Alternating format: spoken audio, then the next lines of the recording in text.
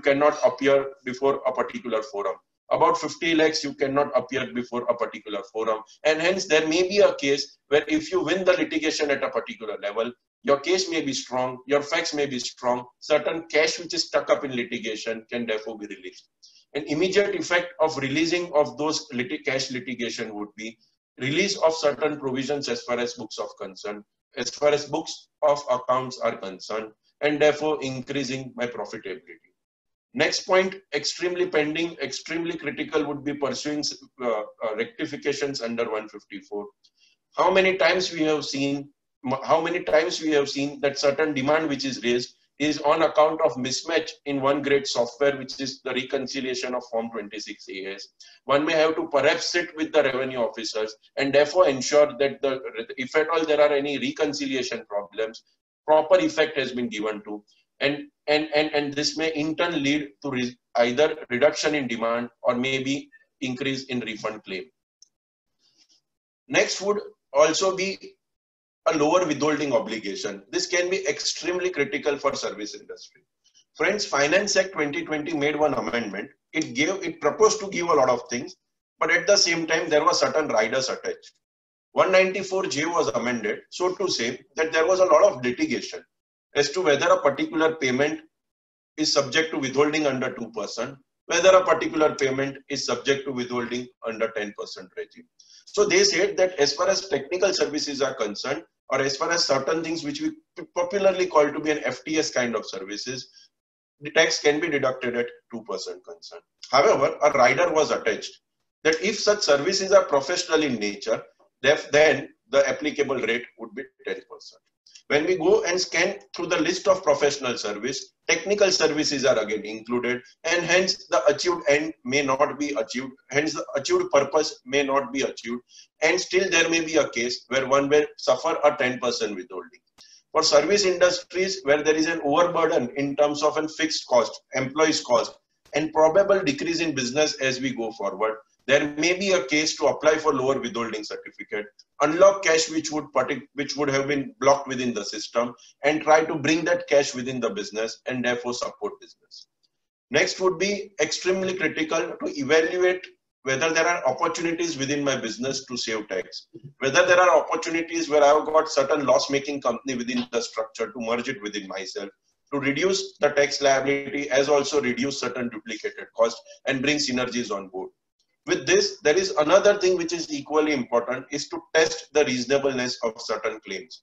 It is possible that in times where things was good, there may be a case of 50-50 and a business would have taken a call that let us pursue those litigation adverse. Let, let us pursue those litigation vigorously.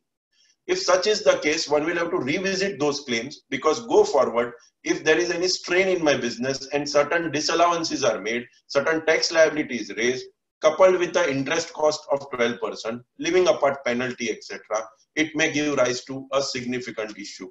This is just to set certain themes. This is just to set certain contours.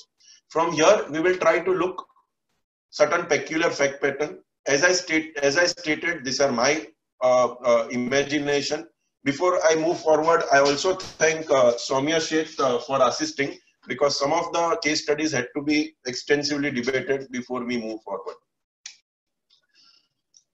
What government did was something like this, and this was a right move, something which facilitated corporating to partner with government, and therefore the scope of CSR activity, scope of CSR activity was therefore stated that whatever expenditure you incurred, maybe for the purpose of COVID assisting COVID uh, situation, it can be spending to for the poor, it can be rehabilitation of migrant worker, it can be contributions to PM CARES fund, so on and so forth. We will consider this to be CSR expenditure, and therefore a pot potential opportunity or a potential uh, option was given to the corporating that in any case you have to spend 2% of your particular net profit. Support us in this pandemic time and hence we will count this as csr expenditure. We don't want anything more and this can perhaps be a good option.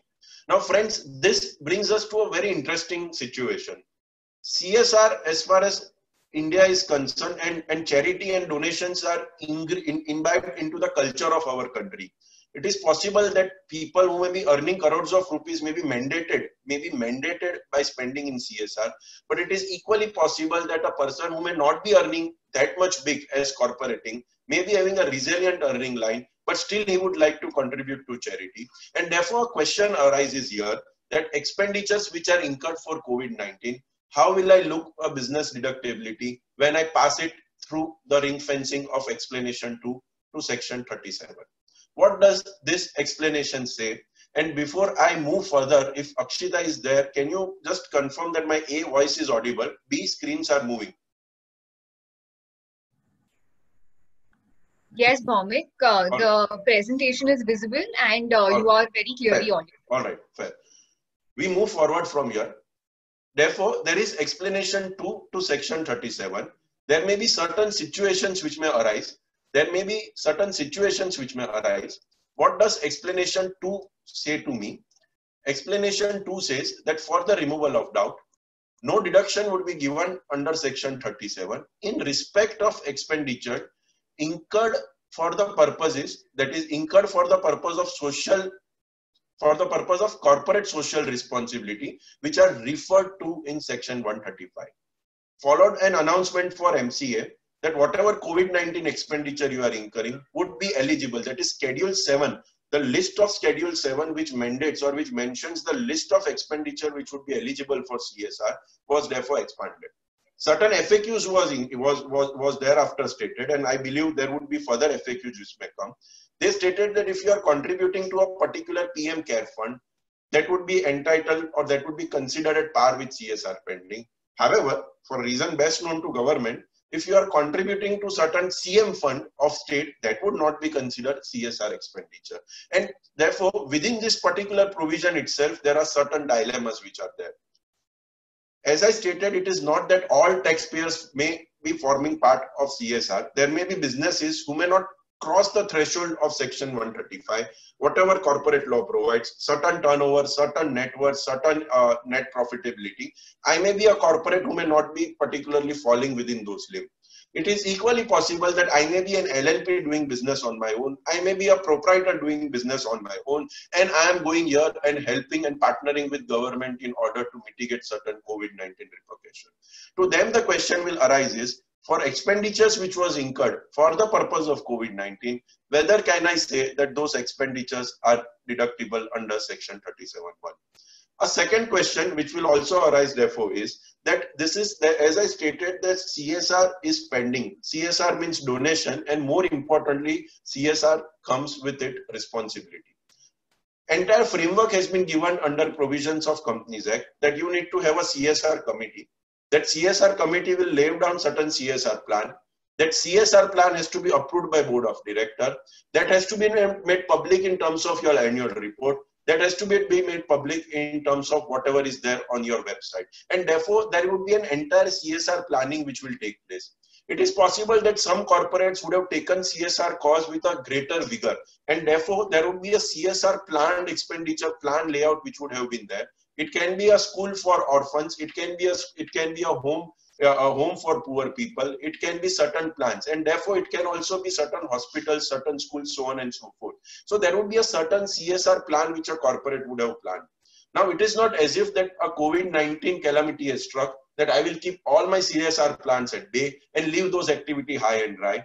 It, we have time and again seen the, uh, uh, uh, the, the we have again time and again see the philanthropic heart of corporate world where in spite of incurring further expenditure on csr they would have opened or they would have loosened their purse to further incur that is move further than csr spending for the purpose of covid-19 to them the question will arise is that today when you are spending on csr with advent of social media advent of vigilant media and more importantly advance of citizen who today are willing who today are willing to grace those people who are spending and partnering with government.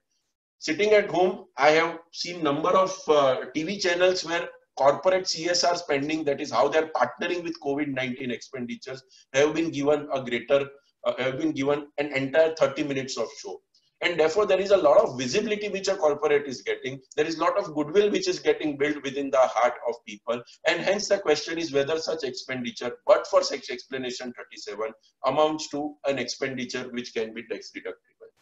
Provisions status, provisions say, just a sec, I'm just moving certain screens so that I, yeah, yeah. Provisions say something like this, that 37.1, a business deduction would be allowed if it is for the purpose of business. Courts in cases pre-amendment, pre-explanation 2 to 37 have blessed have blessed corporates by giving deduction, saying that in today's world, taking care of social obligation, a positive impact on goodwill. Perhaps if I would have perhaps if I would have spent maybe five crores for the purpose of corporate COVID expenditure, but I would have been I would have been given a space in media, which if I would have to sponsor would have been multiple times. So this nothing, but this is nothing, but it helps in the corporate philosophy. Tomorrow, if I am buying a particular product and I have an option, maybe my heart will go with a person who supported me. Maybe if I am buying a limited Parle biscuit, my heart be, will be with a company who helped me who helped me in sponsoring a particular meal when I was in one of the quarantine center. And therefore, the question would be whether this particular expenditure is allowable as business expenditure. But for explanation 32, court was kind enough and there are judicial precedents depending upon the facts. What was the facts that that was a case that assessee was able to prove the business link linkage. Assessee was able to prove the nexus as to how does it helps in improvising my goodwill and court has largely given a deduction in favor of employee. Gujarat High Court in, Namra, in Gujarat, uh, uh, Narmada, uh, uh, taken a view that there are two kind of CSR expenditure. One is voluntary in nature, which is where nothing applies. Section 135 does not apply to me.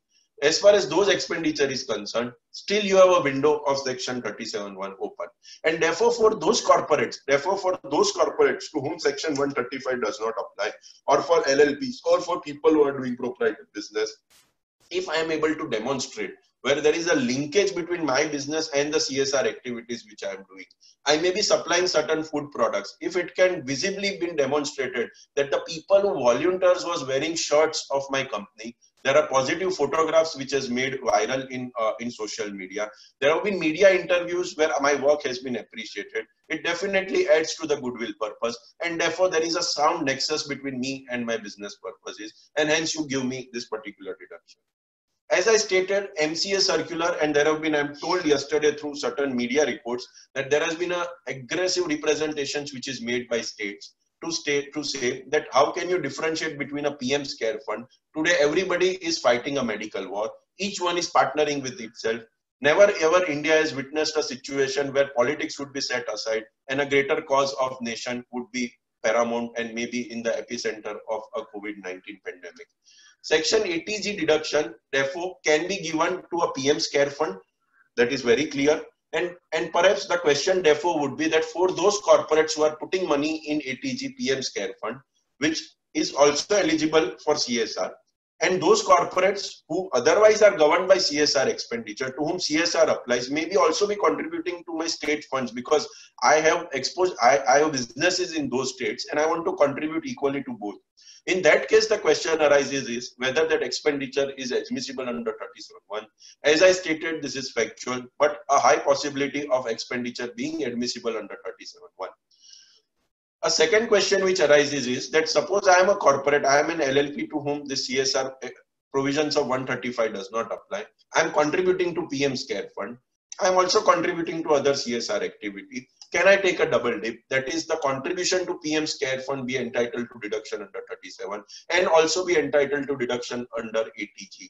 If this is the case concerned, there are decisions to support that you can take deduction under both for the simple reason that there is a provision of 80AB under the provisions of chapter 6.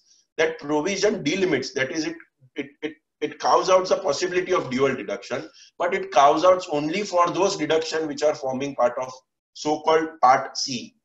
80G forms part of part B and therefore this is not covered by any limitation. Judgment principles that is judicial exposition have told that you can very well take deductions under both the provisions concerned. I move further to the next point. The next point is like this. Uh, uh, uh, friends, uh, since there are some participants who are entering, uh, as Akshita, Akshata rightly uh, mentioned, and it was my request that we take all the questions at end. There is some journey. To, there is some journey to be covered. it is possible that as we go through the discourse of presentation, some of you would have done or done research on this issue more insightful than perhaps what I have done. There may be comments which you would have liked to share with other participants and benefit all. But today the time is limited and we propose to cover this particular session up till end, at least till one o'clock. And then we see if what do we do with questions. Perhaps we answer them all and or we leave it to the organizers as to how do we take it forward. The issue which the second issue comes is that for those corporates who have CSR planned expenditure, that means that I have done a particular expenditure and CSR by its nature, while one would have stated it is compulsive, but be it as it may be, by its nature also gives me a lot of flexibility. It tells me that if you have incurred certain expenditure today, which is more than what law prescribes, you can carry it forward in future years. One. Number two is that I would have done certain planned CSR activities where a particular cause of charity would have, that is the seeds of a particular charity would be sown in year one, it would be nourished in year two, and then fruits would be sown in year three, four. Such charity require, may require a constant support in terms of CSR spending. And we have seen those expenditures, how how noble our corporate India had been to sponsors. And therefore, it is possible that they may say, they may make a statement or they would like to make a statement that while we are partnering with government, while we are incurring those expenditures for the purpose of COVID-19, we don't want this to be considered as CSR expenditure. Schedule 7 mentions a whole host of activities.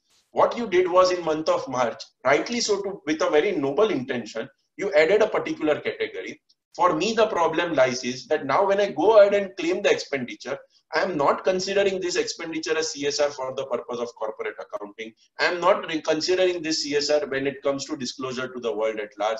As far as compliance with CSR law is concerned, I am continuing with a planned corporate, planned NGOs, planned spendings on certain projects which my committee identified and which my board believes is better for the public at large. To them, the problem is that now there is a particular entry which is added. Entry is explanation 2 to section 37. A entry of COVID-19 expenditure has been added to that schedule, which is referred in section 135. To them, the question is that how does explanation 2 to section 37 read?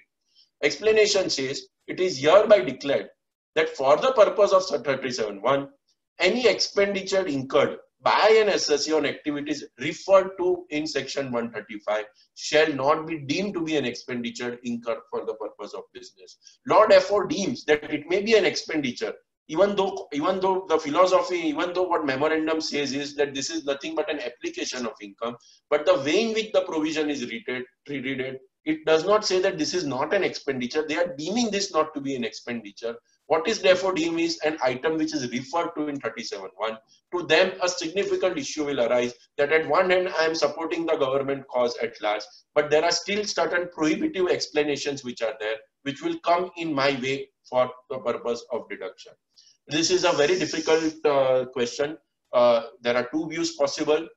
We thought, we debated internally, but somehow there are, it's, it's the, the winds are moving on either side frankly speaking, I was not able to conclude, not because I want to keep the question open, but somehow there are forces in arguments on both the sides. Here is a case where a particular legislative action may not may, may come in the way of availment of deduction to a person who have gone way ahead of what was the mandate of law, supported general public at large, but still he may not be entitled to deduction concern distinguish this particular case with a corporate who is putting money in a COVID-19 and classifying or mentioning that this I consider a CSR spend for the purpose of Companies Act. If such is the case, that case is distinguishable to the example which I have given. If such is the case, without doubt, he may spend 4% today of his net earning. He may like to carry it forward. That case has to be differentiated, has to be bifurcated than the case which is being referred presently certain novel amendments which was brought in. One of the amendment was, and rightly so because of lockdown, that there was certain spending which one believes generally happens at year end. Because of the lockdown and the standstill conditions of the nation, government stated is that while we are not increasing the financial year, that means we keep the financial year as 31st March, but we are giving you certain flexibilities if certain deductions which were in the nature of 80G, 80C, so on and so forth, if you couldn't make it up till 31st March, don't worry, you can count that as an eligible deduction, provided you make it once the lockdown opens, perhaps the situation normalizes by 38 June. We have seen we have seen the heart of corporate India. We have seen heart of certain individuals. Media was filled with news when it came to certain Bollywood superstars in terms of the contributions that they had made. It is definitely a matter of pride and it is a clearly a thing which has to be shared, which has to be passed on because anything good, once it is appreciated, definitely it revolves back with a positivity. To then there are people who would have counted a particular expenditure level they would have counted a particular income level and computed those things when they would have paid advance tax in 15 March 2020. Little did we imagine that the virus, which otherwise was a matter of a WhatsApp circulation, which otherwise was a matter of certain markets in China, which was heavily criticized by each one of us, will tomorrow hit me, hit my nation, and each one of us would be standstill. It would be of a pandemic of such a nature that everybody will contribute to whatever extent we can contribute to PM's care fund, get 80G reduction. To them, the question would be that if I'm putting an 80G deduction now, definitely law is very clear. Finance Act was very clear. You can go back in FY 1920. If such is the case, there is no 10% limit, which is typically applicable for Chapter 6, 6, Chapter 6 deduction. To them, they can very well claim refund, not only refund along with interest. Well, that may not be the intention of the donor, but still the law will work as it is and you can get a refund of those taxes concerned. There may be certain cases which would be on the borderline. Say take a case of a corporate inc. who had certain amalgamations or demergers in past, while my books of account shows profitability, but the past absorption of losses is of such a level, or maybe the books are not giving any great profit as far as 1920 is concerned expectation is that maybe those carry forward losses will extinguish. So for them, if I'm making deduction before 30th June 2020, which year do I relate? Do I relate to financial year 1920 or I relate to financial year 2020, 21? Uh, uh, okay. All right. Uh, now, to them, the question would be, can, I correlate between two financial years? answer to my mind is clearly if you are expend if you are putting expenditure today if you are getting a putting your funds in pm's care today it is an option to you law has only given a bit of enabler to those people who wanted deduction in 1920 it is not as if that if i put my money now option goes and it would be clearly open for a taxpayer which year he wants to claim a certain deduction from here as i told and I'm again repeating, I wish none of the examples, none of the illustrations stands true. But if at all there are any merits, we will still have to deal with certain corporate law implications. Lockdowns, economic downturn. Of course, as I said, COVID-19 was a biggest shock in otherwise a process of a country which people believed was otherwise going through an economic downturn. The spike is so deep now that there may be a possibility where certain senior people in corporating would be told that you will have to take a particular pay cut while we are ensuring the people at last level of our organization that they continue to remain hale and hearty. We don't take a pay cut, but business can't go this way. Certain particular people on maybe the top level may either voluntarily also opt for pay cut. To them, there can be a three particular situations. One is that there is a pay cut, everybody joins together, and therefore says is that let's move ahead with one or two years. Future is bright, and definitely let us bet for a future rather than being aggrieved by certain pains in short term. A particular second situation would be that I say to my all the top employees that let us defer your salaries. There is a particular cash crunch which is there. Once the market opens, once things goes to normalcy, one predicts, and today it is all prediction that when economy will resume, when the lockdown or when people can go and people can work in a normal situation, one does not know today. As I told, the world is in hope of a particular surgeon, which will come with a magic wand and remove all the cures or maybe remove all the pains. To them, I tell that there may be certain deferment of salary. Give away your 50% of salary. Maybe I'm deferring, I'm not cutting it. Whenever the cash flow improves, I will pay your salary. That means it is an assurance to you that don't worry, be with us. There can be a third part where the deferment is there. There is uncertainty. Maybe if lockdown continues, maybe if certain customers of my turns bankrupt, I tell to them is that maybe we agreed for a deferment, which would be the right thing in today's time. but somehow you will also have to take a pay cut, go away with a particular percentage of salary. As far as employers and employees is concerned, yes, there is certain options which are given that there may be a favorable tax regime. Don't invest in 80Cs. Opt in for a preferential salary you have an option you can uh, exercise those options you can communicate to your employer and therefore then only a certain tds measures would be taken care certain circulars are definitely issued as far as employer, the question is that what would be the amount on which TDS has to be deducted. Circulars tells us is that you make an estimate of the salary. That means you have to make an estimate whether you are in situation one, situation two, situation three. As and when, when you make those particular payments, you deduct it at an average rate. And hence, it is not as if that even if I'm getting a 50% pay cut because of a, uh, or maybe a 50% cash flow crunch, but overall deferral of salary, that I would be I would have been assigned to a greater TDS obligation. Second, and which should be a right way to do and which may be a right way, I'm nobody to comment, but an ESOP can be an option which can be extensively used in times like this. What are we looking at? We are looking at a long-term pandemic. Learned economist tells us that the recovery may be in a U-shaped recovery, may not be a V-shaped recovery we don't know what happens in future. Maybe to certain people i would like to say that let's have an esop plan you also be the owners of business. Agree for a pay cut maybe for a couple of years. Let us partner together. The fruits which you sow today will reap in future. When it reaps you will have esops you would be shareholders of the company. Perhaps an option which can be looked aggressively by corporating to retain talent. Second can be that there may be certain esop plans which would be there so I would have given ESOPs in earlier time, not aware about the pandemic which will follow. To them, can there be a possibility where the ESOP committee sits together and rejigs ESOP? Why? The taxation of ESOP regime is at the time when you exercise those particular shares. That is when you sell those particular shares, you are getting those particular shares and now you are selling it.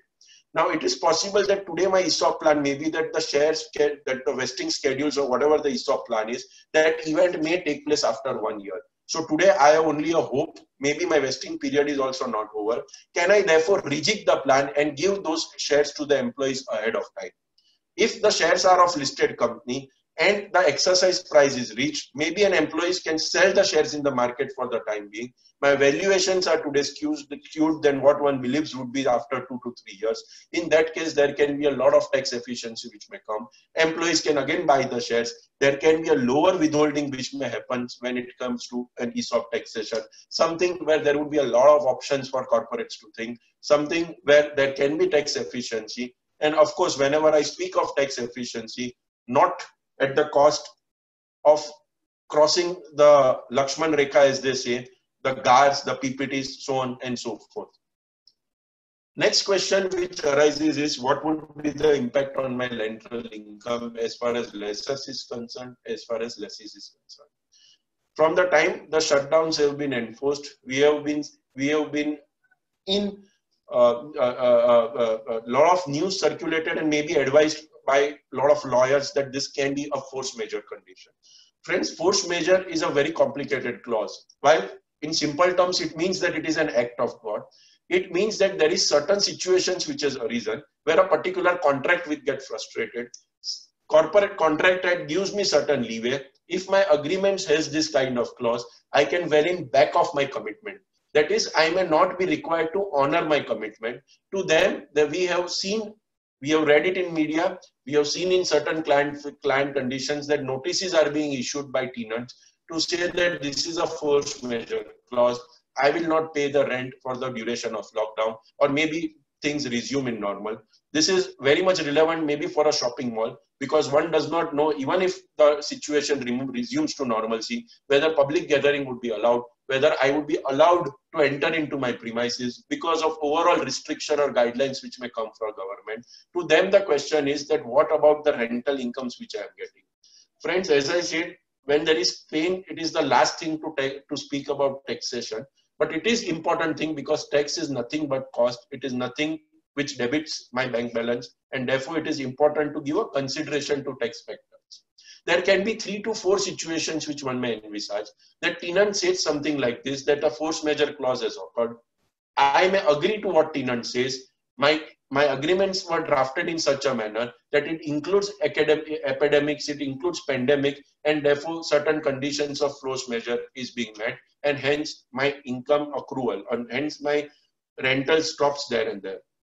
There can be a second situation where my lessee tells to me that I am invoking force majeure. I, based on advice of corporate lawyers, say that this is not a force majeure clause, and I would like to enforce my rent because this is an agreement which is enforceable in court of law. There can be second thing that I may be kind to my tenants to say is that I also understand that it has been a significant downturn. Your maybe if you are a retailer, somebody who, who, who has shops in various marketplaces, maybe you are not able to, you don't have any business, so I defer your rent. But both of us agrees that because the property is at such a prime location that there is only a deferral which is taking place. It is not as if we are agreeing for a rental reduction. The third case can be, the third case can be where my tenant tells something to like something to me like this that here is a case of pandemic forget your rent i'm not able to pay my employees we have decided to shut the shop and hence i'm vacating it there was two to three months which in agreement i'm request i'm liable to pay you but overall circumstances are such that i'm moving back of my commitment treat it as unrealized rent Therefore, the question is, in each of the situation, what would be the implications in the hands of recipient? What would be the implications in the hands of lessee? If your seller-eyed employees, very limited concern, very limited concerns in each of those particular situation. I'm more today focusing on maybe the corporate people who, who have taken premises on rent. Now to the lessor's concern, there can be an individual taxpayer who is offering cash method of accounting. Because it is a cash method of accounting, certain limited provisions may apply. There may be a person who would be offering tax under a mercantile basis of accounting. To him, certain different provisions apply as far as the chargeability to tax is concerned. What is the provisions under the head income from house property? Provisions are something like this, that there are three criteria in which this rental income can be brought to tax. First criteria is what is a reasonable let out value, something which call which which which we call call to be an annual let out value as a concept, ALV as a concept. Now for properties which has been leased on a YOY basis, municipal valuations may not hold true and therefore the reasonable let out value is clearly imprinted by way of things which has happened in past. To them, the question would be that if my reasonable let out value is higher then what perhaps is the rent received or receivable? How do I deal with provisions of taxation? To them comes rescue in terms of clause B to 23.1. They say is that if my actual let out value is higher than ALV, that is my ALV could be a municipal let out value. These are questions where somebody has more than one houses. I'm deeming one house to be SOP in nature. Another houses are not let out in a conventional sense, but I have to offer it to tax because exemptions under law are limited. There, the question is that if I have a municipal valuation, there is nothing which I am actually receiving.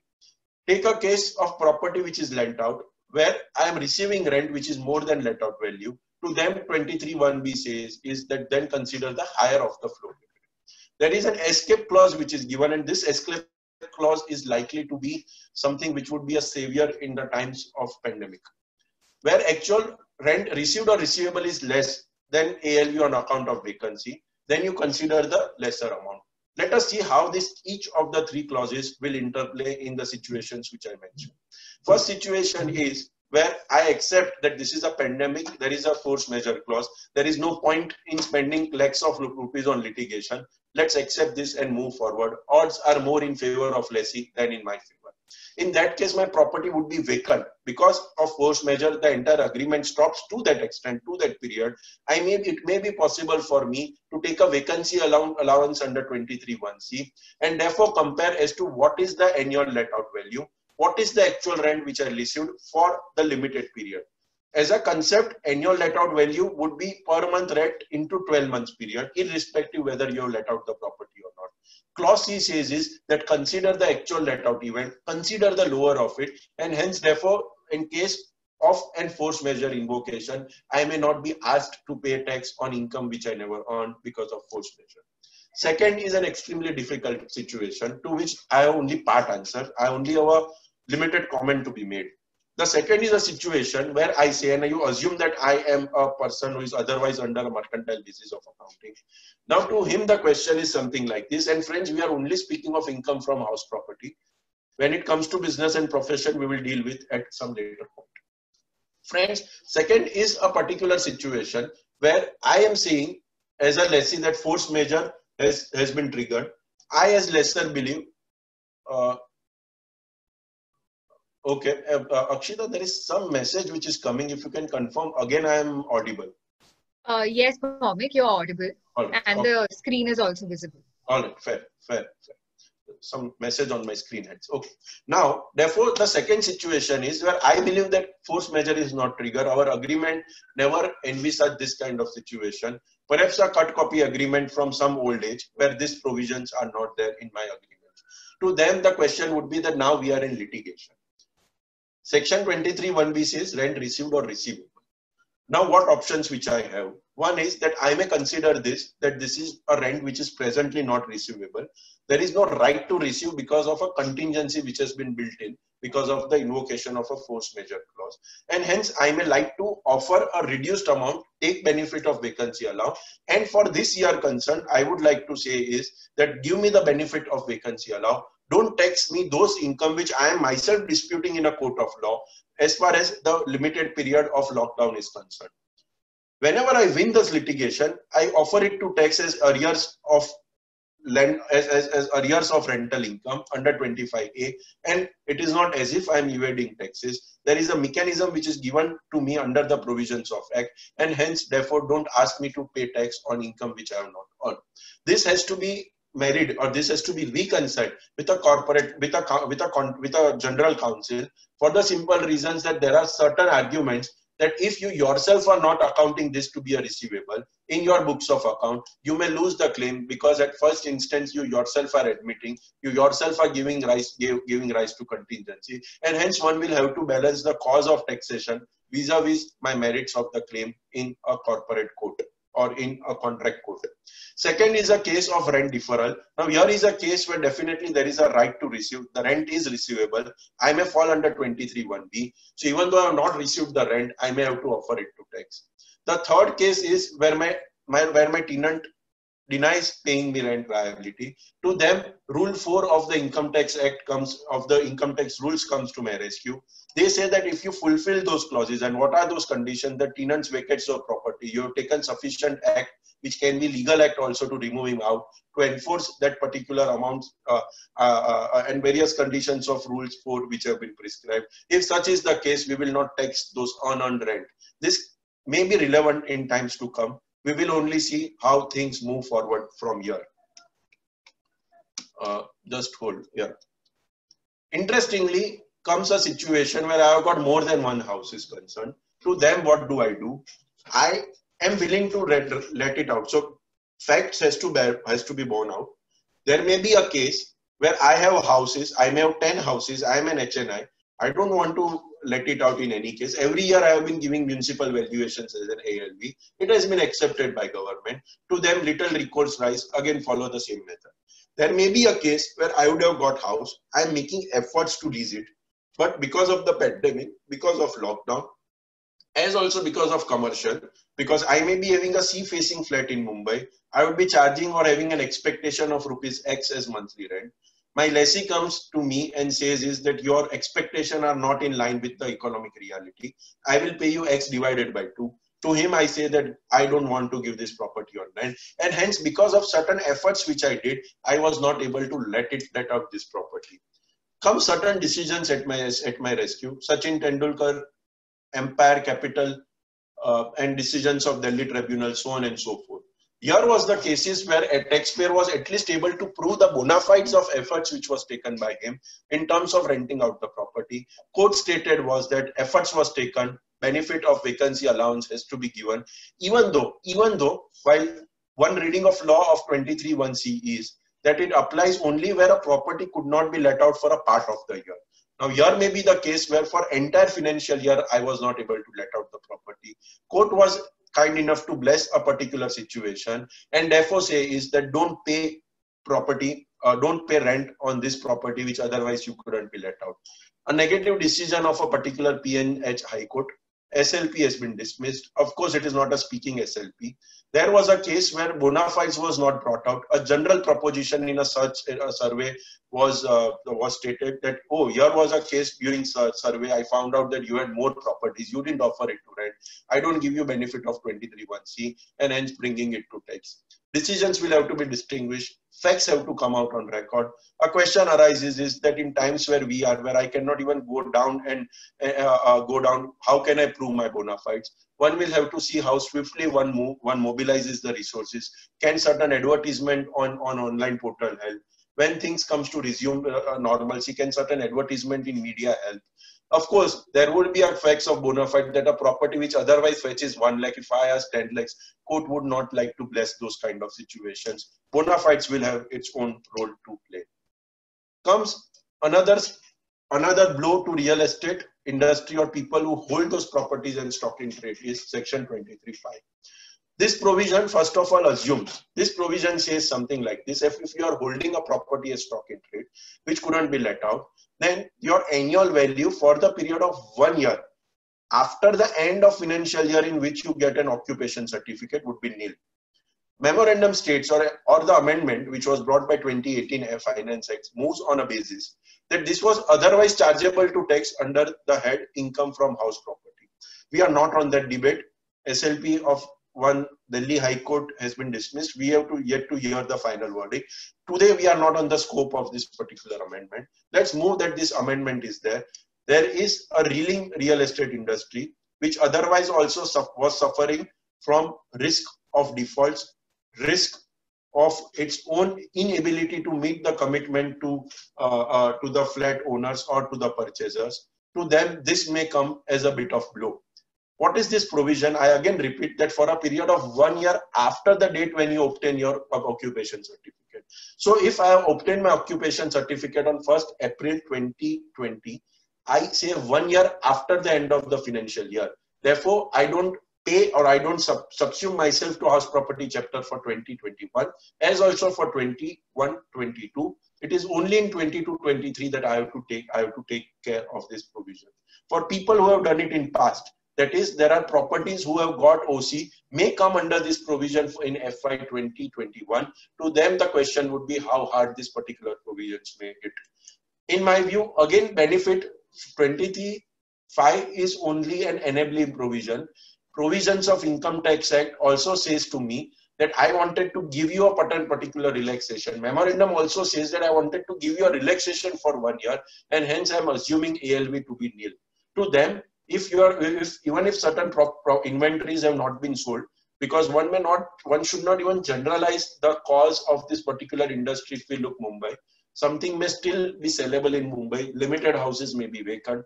When we look at the real estate in a broader spectrum goes to uh, other cities outside mumbai the pain is visible. The pain is clearly visible. To them what do you do Maybe in my view, 23.1c may act as a savior, provided bona fides can be established that even though this particular property had dual purpose, one was for the purpose of selling, second is that law fictionally requires me to uh, pay rent, I would still like to take benefit of 23.1c, provided and provided bona fides can be proved that I made all the efforts. It is a case of pandemic. People are locked at home. This would be the last thing in their mind to uh, uh, to maybe change house maybe certain uh, properties where otherwise people would would have taken a shift from one city to another maybe because of jobs etc etc everything has came to standstill. What law therefore may require and if those decisions of tribunal are true that you still establish that you made enough bona fides to ensure that this property was proposed to be rented. Of course, when I say bona fides, I mean bona fides in real sense. We are not talking about one or two literature, one or two advertisement to uh, to, to, to just to get out of this particular rigor. Maybe uh, certain more communication with stakeholders can also improvise on your bona fides. Now comes an impact on business and profession. What we are doing is we are perhaps going head by head, uh, various heads which are given under the act. Try to see on each of the head where there can be an impact of COVID-19. Uh, as I stated, last uh, uh, 30 to 35 minutes have certain different variations and hence we will move through with this present with with these slides further we are not taking any questions because I suspect that time may be limited if I take questions in between. At the same time, there are questions which are being posed at, uh, at the chat box. We will see how to do with it. Revenue recognition. Now, friends, this has a severe implications when we are looking on the closure of financial years 31st March 2020. ICDS, whether we like it or not, whether we succeeded in a Delhi High Court ruling or not, is part of law. Significant amendments are made to get over certain rulings of ICDS and therefore to get, get over the ruling of a Delhi High Court decision. What law says is that you have to give equal cognizance to ICDS provisions as you would have given to the provisions of Act. Of course, where there is conflict between two, the elder brother takes a supersession vis-a-vis ICDS. ICDS on sale of goods requires that you evaluate. See, friends, before ICDS, I would have taken concepts of right to receive, enforceability, so on and so forth to test whether this income has to be offered to tax or not. Now, there are cases where ICDS may favor a taxpayer to certain extent. There may be a right to of enforceability under section 4, but still certain revenue recognition standards of ICDS wouldn't have been met. Take a case of first bullet which has been mentioned, sale of good. What ICDS say is that you evaluate whether significant, it is significant, not minor, significant risk, uh, significant risk and rewards of ownership have been transferred to the buyer and seller retains no effective control. Friends, lockdown, Janta curfew, etc. was unenvisaged. People never planned and rightly so.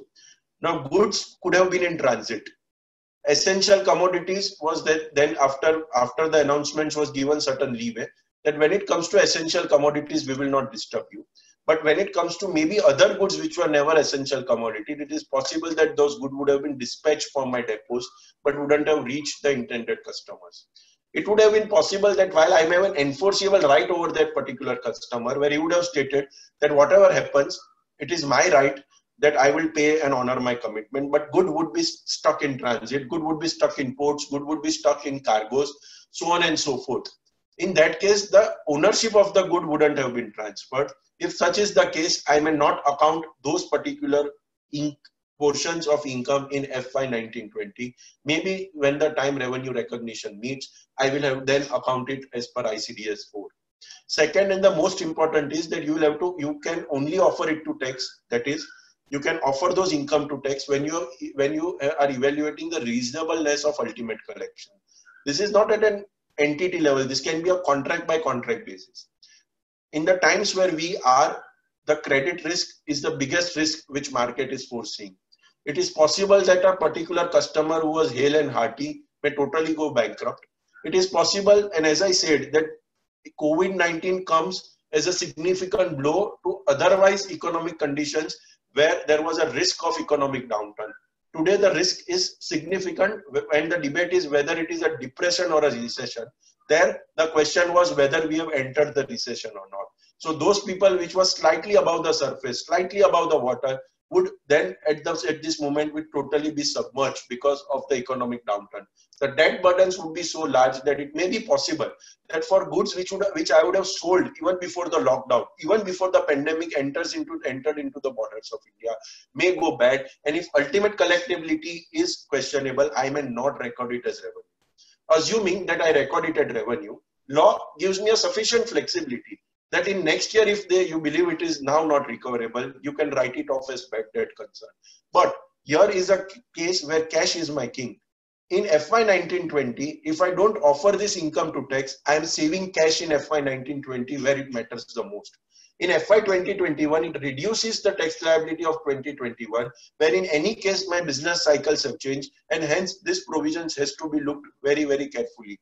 As I stated, at times and only at times, ICDS brings opportunities. Otherwise, at most places, it is more skewed towards the side of the revenue vis-a-vis -vis taxpayer concern. ICDS not only applies to a normal goods, but it also applies to services two mandates are given by 43CB read with a particular ICDS, which states that you apply a POCM basis of contract. Second is that even in case of services, you don't apply POCM, but you apply a project completion method if you believe the duration of the services is more than 90 days.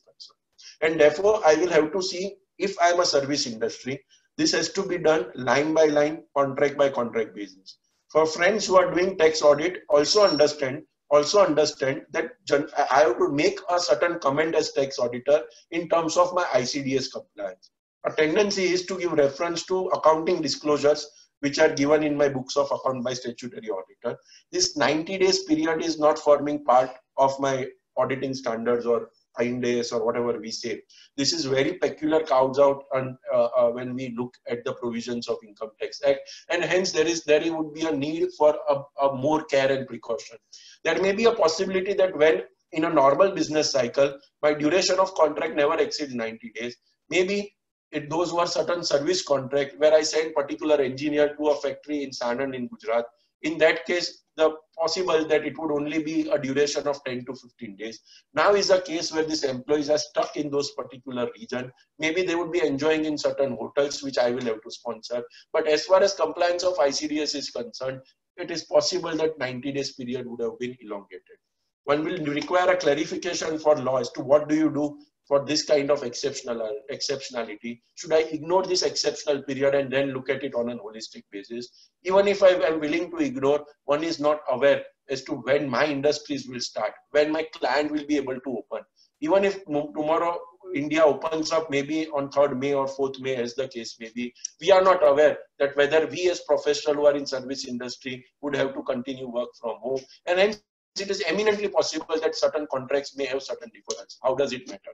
It matters to me because for the simple reason that if there is an elongation of 90 days period, I have to follow POCM. If I would have envisaged a year-end contract, which would have otherwise been over in 70 days period, I would have liked to offer this income to tax in subsequent year where my project would have got completed. But if I am at a stage where my 80% work is over, then law requires me to follow a POCM method. Law requires me to say is that offer that income to tax even in this financial year, FY 1920. Certain assumptions which I would have made when I, would, when I was computing my advance tax would change when we look from this ICDS perspective. Next effect is the placed POCM basis. Of course, it applies to service industry. It does not apply, that is ICDS per se does not apply to developers who are developing in their own rights. But what law says is that you see your POCM basis. Many developers themselves have, are voluntarily entered into POCM basis. Ind does not give me an exception to follow a PCM method. And therefore, and therefore, one would have made certain assumptions concerned. Say a case where I'm in a construction industry, what future holds for me? we don't know whether whenever lockdown opens up i will get my ground level workers. I will not i may not get my field workers. We don't know whether they've already crossed the border and migrated to their hometowns. We don't know whether they are caught in between maybe while traveling from one state to another locked at a particular state. Second we are somewhere in the month of may. This industry will have a lull when it comes to business in the terms of June, July, August when you're going through rainy seasons. So maybe when I'm computing my advance tax in 2021, my POCM assumptions will hold good. I will have to see as to what amount possibly I may offer it to tax. There may be certain commitments which will be on me. Law gives me a sufficient flexibility, Chennai Property Supreme Court decision, that if I am doing a activity of leasing as my business proper. I may not follow a house property chapter. I may be following a chapter under business. In that case, if force majeure clause is triggered, perhaps there is a questionability in terms of ultimate collection. Perhaps my right to accrue is not being achieved. If therefore that is the case concerned, this income did not be offered to tax relevant for shopping malls, relevant for people who have hired their premises to maybe cinema, uh, on, uh, maybe PVRs of the world, so on and so forth. Uh, let's move further. Screen is not moving, but just hold. Yeah. Next comes is interest. Now, what ICDS says is, and to this, there is a separate paragraph in ICDS that when it comes to interest, you account it on a time proportionate basis concept of ultimate collection, etc., have been given virtually a go by. It may be possible that I would have lent money to maybe even my subsidiary or to 10 people. The question there is that how do I offer this interest income to tax? Presently, there can be a case where my ultimate collection, which was otherwise sound, would now be under a significant question. There is a circular which came from, uh, uh, uh from CBDT which says something like this, that conditions of reasonable certainty of ultimate collection is not laid down when it comes to taxation of interest. Whether therefore taxpayer is obliged to offer those amount to tax. A wonderful answer. As a principal, interest accrues on a time basis, so we are not willing to go by on the basis of contractual agreements subsequent non-recovery, you always have an option to take a claim under 3617. So in a way, what circular prompts me is that even if today my reasonability of collection is missing, still offer it to tax. In view of circular, that is the sound law. But to my mind, there is a case where there is a case that you may go to judgment law. You may go to the principles of accrual you may go and rely on certain decisions which are on your screen, which have stated that if the reasonable or ultimate collectability is in question, you need not offer it to tax and hence perhaps my interest accrual may stop. I will have to wait for the right time and then if at all I am receiving, perhaps again in situation changes. This is a case where ICDS is against the provisions of Income Tax Act. As rightly stated in ICDS, I ignore the ICDS and therefore follow the provisions of Income Tax Act. Next are the cases where while there can be uh, certain assumptions and those would be my own internal MI, MIS, my own internal pricing mechanism which I propose. It can be a case where somebody comes to me as a, uh, uh, as a client and states that look, here is a case where I want you to do a particular concurrent audit. I want to, you to render a particular service. I make a man hour estimate and therefore then I say that if I'm incurring 30 days time period, I would like to quote rupees X and that's the end of the matter. Because of this pandemic, two, three things may come in strain. Take a case of a particular contract which I have entered into with my client. Nobody is disputing because I don't want to lose this particular client. But certain assumptions may change certain materials which was to be imported from China, I may not be able to get it because even those factories are stuck. My foreign exchange fluctuations have taken a toll. One may believe, one economist may believe that we don't know whether we will come back to the original level which was there when I entered into a contract. Maybe an INR to 72. Maybe the future only tells us that INR may be 80. And therefore, there is a possibility that a contract may turn onerous there may be a possibility where my provisions of where I believe that rupees 100 was a cost and rupees 120 was my revenue now will immediately change to rupees 220 as a cost. Maybe my people who are there doing that services because of lockdown are, are stuck. It was on me to bear not only the employee cost but also to bear other incidental costs which may be there in terms of accommodation housing logistics so on and so forth and hence therefore the point is that this contract turns onerous the question therefore is that can i in this financial year 31st march 2019 make a provision for this onerous contract, which Ind AS will require me to do. Ind AS says is that you see what is the economic gain you are, uh, uh, which you may get gain from this particular contract. You in juxtapose it with the cost which you will incur. If the cost is more, this contract may be an onerous contract, create a provision for this particular onerous contract. I come to the tax deductibility part of it. Maybe this is a provision, this is a, an a certain liability, this is a contractual in nature. As far as people who are under MAT regime may very well be entitled to deduction because this is not an certain liability, very much a liability which should be deductible for MAT purposes. So my books of accounts may still be in negative. I would have liked to then take a position as to what do I do when I look into my normal computations. At here comes at the root ICDS 1. What ICDS 1 says is that expected loss shall not be recognized unless there is some another ICDS which gives me certain benefit. There is also a case where a law was amended in order to get over Delhi High Court where 36118 says that M2M loss and other expected loss shall be only computed in accordance with ICDS. This provision for loss was so much was so much in the mind of legislature that there is one more act, one more provision which was introduced, 4813, which specifically says that no deduction of allowance shall be given in respect of MTM loss or expected loss unless it is allowable under 36118, which again refers back to ICD. ICDS 1 says expected loss shall not be recognized unless the same is in accordance with ICDS. What is in accordance with ICDS is certain leeways. For us, important is ICDS 10, which deals with provision. ICDS 10 limits or specifically says something like this. ICDS 10 says that pro provision No provision shall be recognized for costs that need to be incurred to operate in future. We are talking of onerous contract. Distinguish this with warranty provisions because these are past obligation. I sold a good in past. I give them an obligation to which ICDS grants me deduction if certain conditions therefore are satisfied. We will have to distinguish those cases we'll have to distinguish with contingent liabilities because those are also cases of certain obligations which was taken in past. I distinguish it, those cases where ICDS permits me deduction. Contract of onerous contracts are those where cost may be required to be incurred in future. To that, ICDS specifically prohibits me deduction. Therefore, ICDS says is that as and when you incur the cost, you take deduction, don't count on deduction. So this kind of provisions of onerous contracts which would be made on 31st March 2020 will not be entitled to deductions.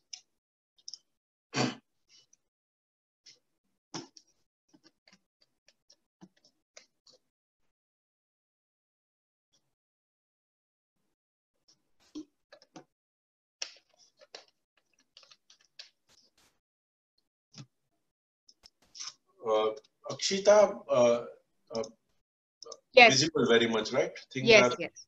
All clear. All, all Let's go to the next part of business deductibility would be liquidated damages. See friends, force majeure would be a particular clause where there may be certain escape route available, but beyond law lies relationship, beyond law lies future future relationship and possibility of businesses in future. I may not like to displease a particular customer because there is more pain to me because I have incurred the loss today. Maybe I would like to honor him because the business potential of future is much more in my favor than odds which are there in today. There may be a possibility where I would have committed a particular things to my supplier. Take a case where a distributor would have committed to take X number of quantity because of this particular event i wouldn't i i may say that look i don't want to take this quantity. I don't want uh, to honor this commitment. Let us come to table and settle it. There may be a case where both may engage into a discussion and agree at a settlement amount. There may be a case where my goods may be lying at port and i would have told to my customer that if my goods does not reach at till a particular time i will compensate you. Because the, my customer in turn would have given further commitments to his own customer. So there is a reliance in the entire value chain and hence there would be certain liquidated damages which I may have to take. There may be certain bank guarantees which I would have given to my customer where if I don't deliver till a particular time, those bank guarantees would have been enforced. In that case, it may be possible that all those things would strike. Calamities have already struck. Economic calamity may strike. And therefore, these amounts may be called upon for deductibility. Significant favorable decisions that these are expenditures for the purpose of business. To my mind, these are all compensation. Even if you are making payment to a non-resident, there is no need to withhold tax under 195. And therefore, the law, especially as far as this is concerned, is clear. There is nothing in ICDS which prohibits me. And therefore, these amounts would be entitled to deduction. Take a case of forex fluctuations. We were at 72, 73. We slowly moved to 74 as the news of, of, of COVID-19 started reaching India, today where we are after the lockdown, tomorrow we don't know where we would be there are certain foreign exchange forex exposures which which a particular taxpayer may have. There one will have to follow the mandate of icds in, in a true extent. If certain things are naked contracts i may be entitled to mtm if there are certain forward forward contracts which would have been taken there is a separate treatment which has been prescribed. If there are certain derivatives or certain advanced kind of hedgings which have been taken i need to look at those particular icds i'm not going it in detail because we have miles to cover Friends, with this pandemic, certain assumptions would be made and we would have taken deductions based on those assumptions. Take a case of warranty provisions. Now, warranty provisions are my obligations of past. That is, I would have sold certain things to my customer. I would have sold certain automobiles, say a car to my uh, to my various. I'm an automobile company, but I would have sold certain automobile. I would be a white good industry where I would have sold refrigerators, air conditions, laptops, so on and so forth. Now, certain service obligations would be there. Typical that service first one year services would be free, first two years, so on and so forth, first five years, so on and so forth. Now, because of this pandemic, neither I could honor my commitment, neither customer could reach my, my destination. It may be possible that my warranty provisions would be rigid I may be like I may like to extend this warranty provision, ignore the time of lockdown. Maybe for me, a customer saved today is much more valuable than cost which I would be incurred. I may not like to look into those minor uh, stingy aspect of, of saving on warranty cost merely because my customer could not reach my shop. And therefore, there would be certain warranty assumptions which would have been made. If a person is following Ind AS, the, the life is more miserable for the simple reason that there are certain further uh, uh, uh, further care which one has to take which, which one has to take care. Take a case of warranty provision. There may be some elongation of warranty expenditure and therefore this year end provisions which would be made. Of course icds grants me deduction but there is some kind of mismatches which we see there may be a case where certain assumptions of warranty which I would have taken in past, there would be a change in policies of the company. There may be more provisions which I may be required to be made. So if a person would have bought a car in the month of Jan, I would have made certain presumption. Now my line, that is my assumption line would have stretched from 12 months to 15 months. And therefore there may be certain things which would be inbuilt into the revised calculation of warranty. ICDS says is that whenever you are computing uh, warranty, you have to apply the principles of net present value. That means there is some discounting which takes place. That is what Ind AS says. Uh, there was some mistake, but that is what Ind AS says. ICDS specifically states that when you are making certain provisions, you ignore the NPV value. That is, you ignore the discounting to present value concept. And therefore, when I'm changing those assumptions in this particular financial year, 30, 31st March 2020, or maybe in the years to come, I will have to marry what I did when it comes came to ICDS disclosures in past year. To what extent my provisions was made ignoring ICDS, to what extent there is a revision, again ignoring net present value. This is an extremely difficult task. But here is a case where tax laws are not in sync with what accounting mandate is. Perhaps law in Bharat Earth Movers definitely stated us that anything which is done on a scientific basis ceases to be an uh, uh, uh, ceases to be un. The scientific basis replaces it or makes an assumption or an estimate which is good enough for you to claim claim claim deduction. Net present value is a sound scientific method, but here is a case where ICDS then therefore takes me away from those sound basis and there would be a significant work in making. ESOP expenditure. I would be claiming ESOP expenditure. Special bench in Biocon and multiple tribunal rulings which follows states is that this is a deductible expenditure. It is not uncertain, it is not contingent, so on and so forth. HDFC Bank in a way reads what Biocon ruling says, a tribunal decision, which says is that Biocon is only on a limited proposition that this expenditure is deductible. It is not on the proposition as to how do you account it. It is not on measurement of that expenditure. That question was left open. When, it, when you come to ESOP expenditure, especially for companies which are following Ind AS, a black and Scholes model would be there.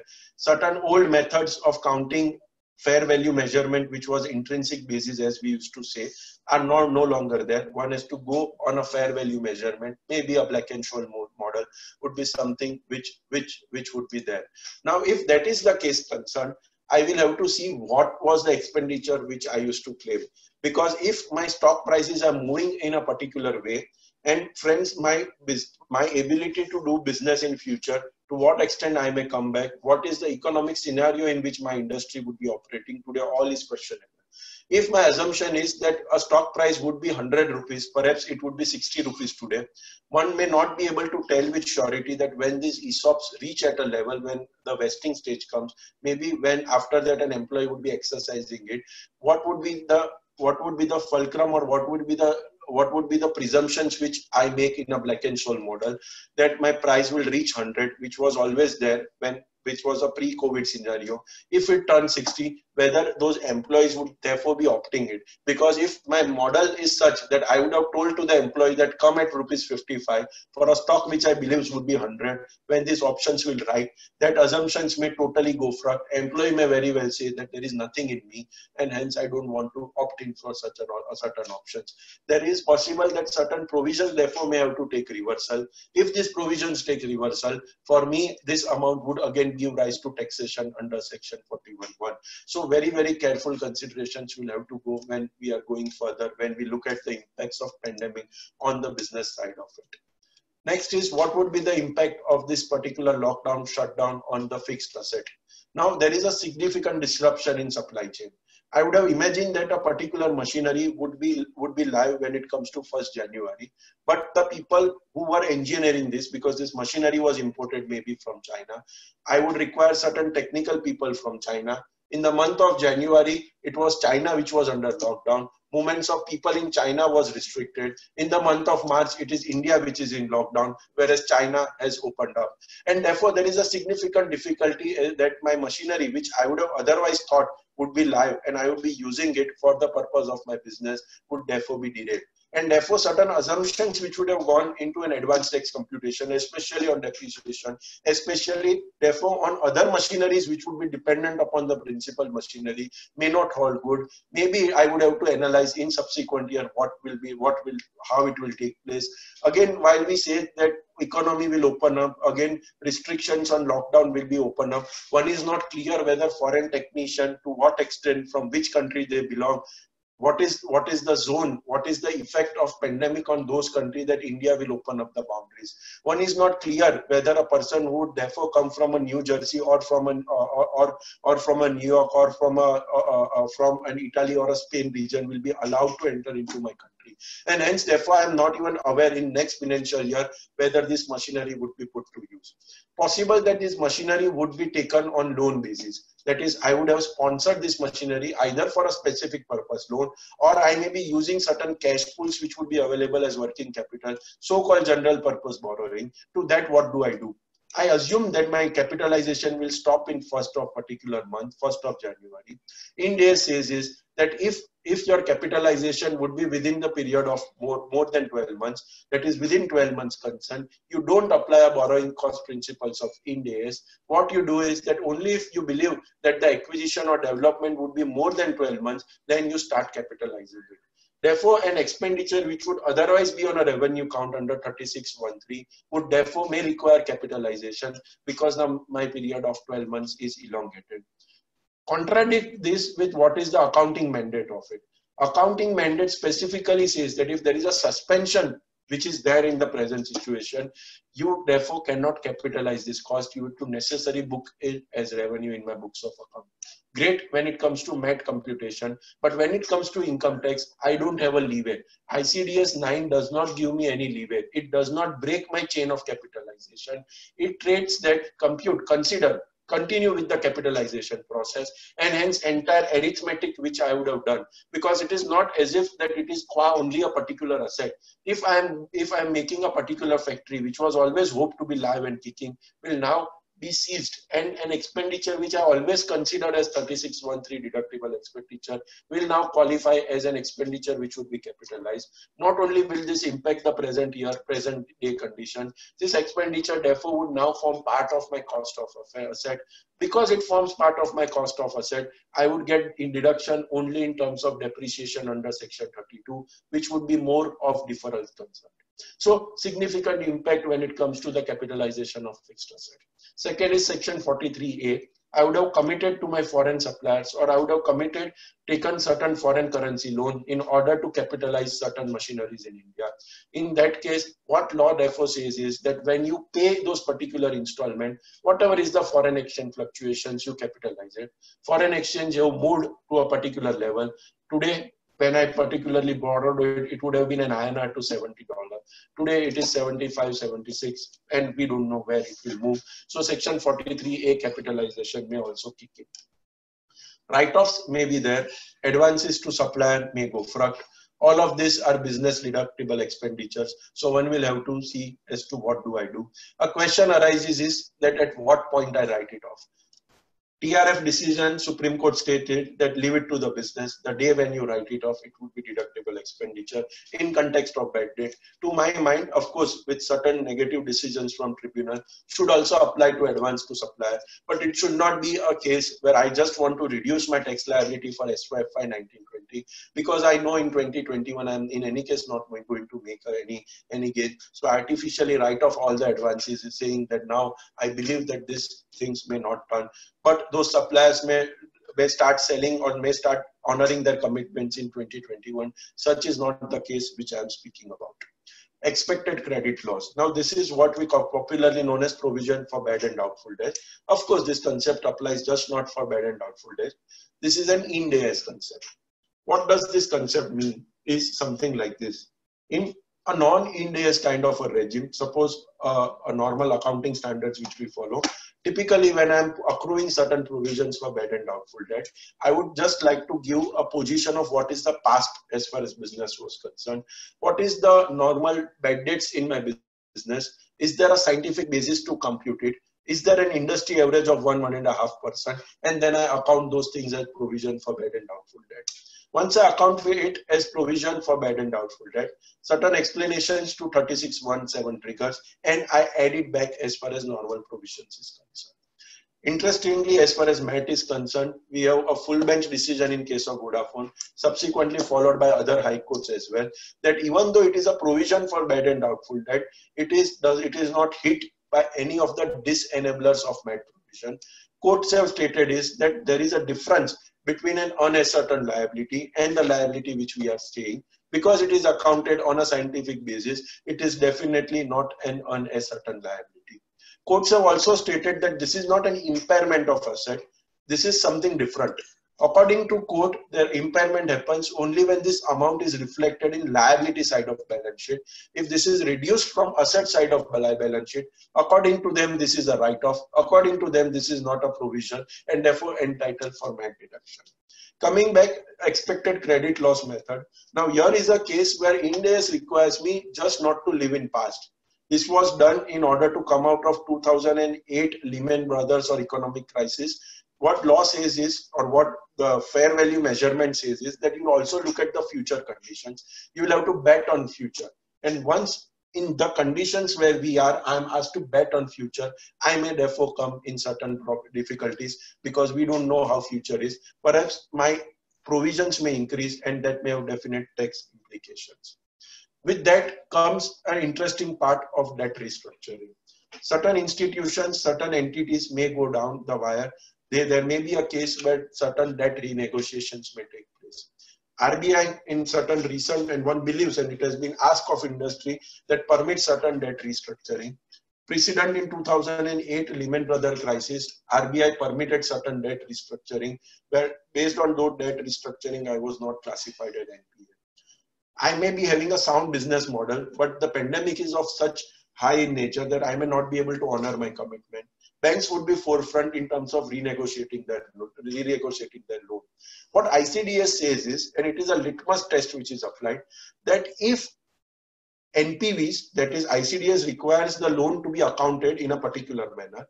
If they say that your contractual cash flows differ by 10% than what was there in a pre-negotiation era, then you de-recognize your all the past liability and you recognized your new liability at the revised cash flow basis. That is at the revised NPV method.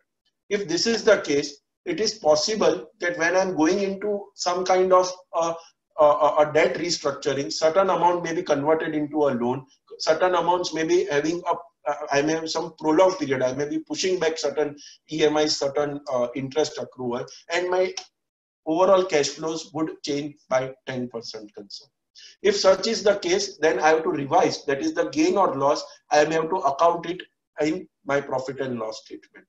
If there are certain instrument from debt which are classified into equity or a preferential regime, it is possible that there may be a gain vis-a-vis my precondition.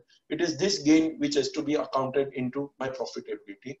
Under the provisions of normal tax, I would have stated under the provisions of normal tax, I would have stated that these are and gains which are not income in nature. There is nothing of uh, uh, of waivers which have happened, and hence you don't bring me to tax. Perfectly fine argument. Question arises in context of MAT computation. These are the taxpayers who have taken an option, and hence I said that one will have to critically evaluate the positions whether I continue under a normal tax regime or I opt in under a 115BAB regime. Uh, just hold on. Here, when I am putting this credit into my PNL account, maybe the safeguards would be the decisions which are on the screen, which have stated that MAT provision still lies within the provisions of Income Tax Act. It may be an alternative way to compute tax, but if certain things are not income in the way in which it is, in, if, it, if it is not recognized as income under the provisions of act in that case you cannot even bring those income to tax under the provisions of the MAT computations even under income tax act. Some of the decisions here quoted deals with subsidy. Some of the decisions here deals with certain exempt income so on and so forth. In my view possible to take a stand that this should not also be offered to MAT under the provisions of law. Next would be the situations where I would have given loan to my subsidiary concerned. My subsidiary would now be in a situation of bankruptcy. I again repeat that there was an economic downturn which was making noises. This comes at a high economic, uh, the COVID-19 comes as a significant hammer. It may change, it may change the, uh, just hold on, uh, just hold on. It may therefore change certain assumptions uh, एक minute. Okay. Uh, it may therefore change certain assumptions which I made. My subsidiary would not be in a position to pay. It may be possible that I may be asked to go into either a debt negotiation. IBC proceedings would again be enthralled upon me. Or it may be a possibility that we all take a call that subsidiary will not be able to pay my loan. And hence there is a write-off of loan which takes place. As far as parent is concerned, what is the deductibility or chance of deductibility of this write-off? Courts largely are in favor of the view that it may be a possibility that 100% has been written off because of economic downturn or out of rupees 100 you are only receiving rupees 10 to the extent of 90 which you have, which you have missed this is not a business reduction your activity is different. It was merely a lending activity. It was a case where I paid rupees 100, but I received rupees 90. You will have to prove as to how this is for the purpose of business concern. How this is for the purpose of business concern. If I'm able to establish that there is a live link between me and my business, if I'm able to establish that borrower company is nothing but a special purpose vehicle, that law required me, or maybe there was a case where where maybe I am in a renewable energy, where I had to necessarily do activities in an SPV, SPV based model. Each state gives me different kind of certain concessionaire arrangement. And therefore SPV is nothing but an extended part of my business. This is nothing but my own capital going front. In those cases, it may be a different case where there can be a deductibility of loan concern. But if your case is largely a case where my where I was only funding my subsidiary to do its own business, decisions does not give us any confidence to merit a business reduction under 37.1 or 28 concern. There may also be a possibility, there may be also be a possibility where bankers would have given, where bankers would have given, no, I'm just coming back, where can I improvise? Can I improvise my situation from here?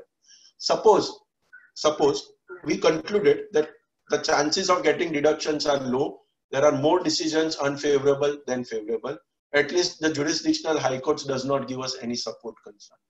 Can therefore what I do is, and, and again I'm seeing that any of the illustrations from here which we make and in next maybe 30 to 50 minutes, we leave it to the organizers if we can push it by 10 minutes. But in next 30 to 40 minutes, which we whatever we do, there may be certain statements which I may be making it has to be supported by fact. It has to be supported by a business case. There is sufficient anti-abuse uh, ammunition which is there in the provisions of Income Tax Act.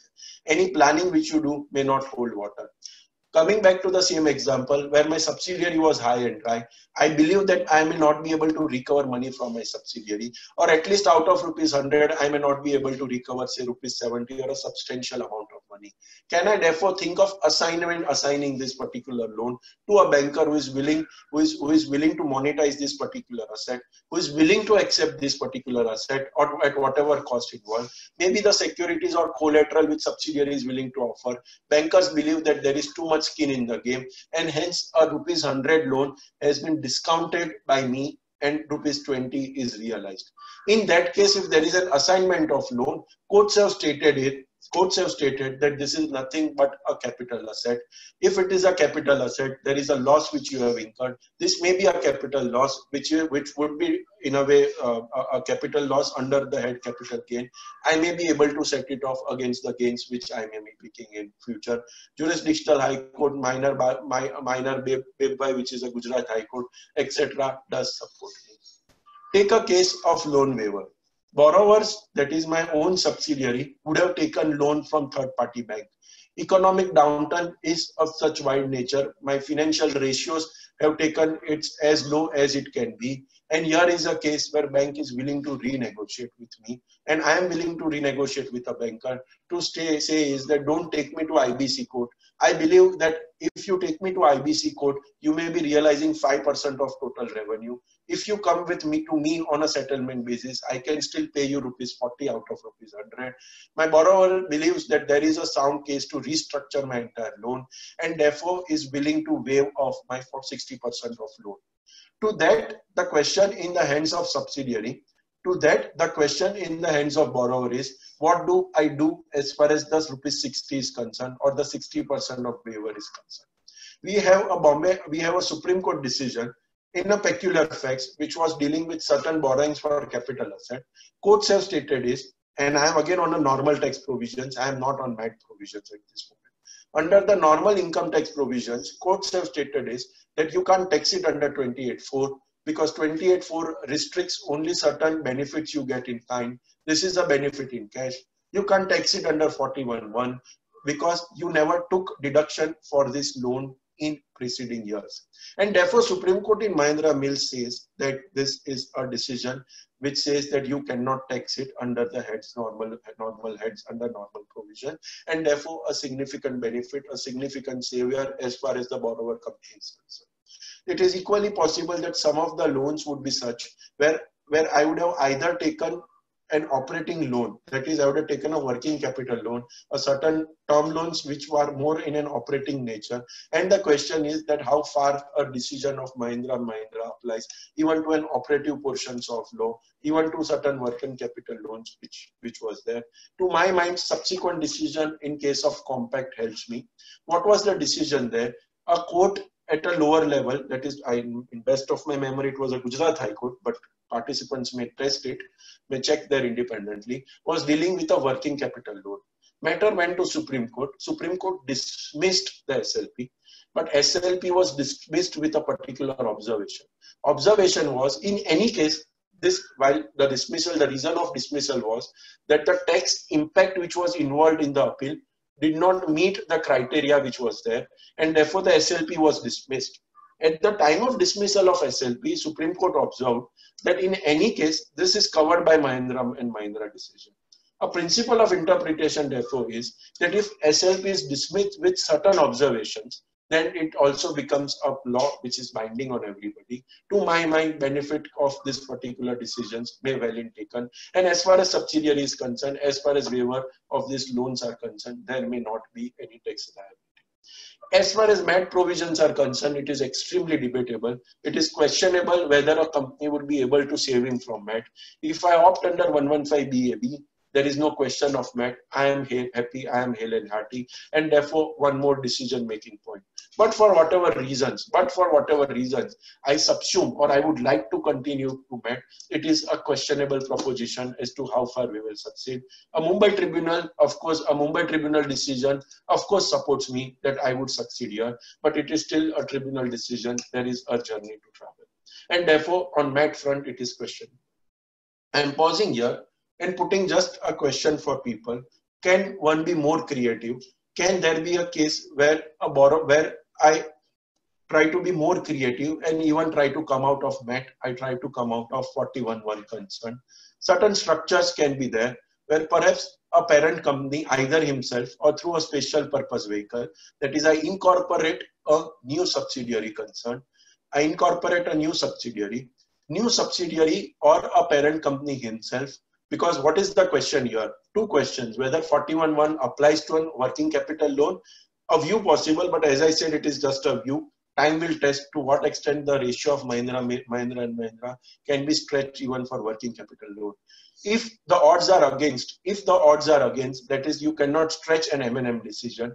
If somebody tells that M&M decision was dealing with a loan which was taken for capital purposes, does not apply to a loan which was taken for working capital purposes, can there be a need where certain, uh, when one can act more safeguardedly, one can act more cautiously? it is possible that parent company may pay rupees 40 that is 40% of that and and novates the entire loan which was there with the banker to himself. That is, I pay banker rupees 40. I take that asset which is loaned to the borrower company, which is my subsidiary company, in my book, in my books of account. Therefore, as far as banks and operational creditors are concerned, they are taken care of. Their claim is satisfied. Terms of corporate debt restructurings are being met, and they are willing to waive off the balance now there is a case where in the books of my subsidiary rupees 100 appears, in my books rupees 40 appears. I enter into an agreement with my subsidiary and then therefore say that in any case you are going to pay rupees 40, pay me 40% of the debt.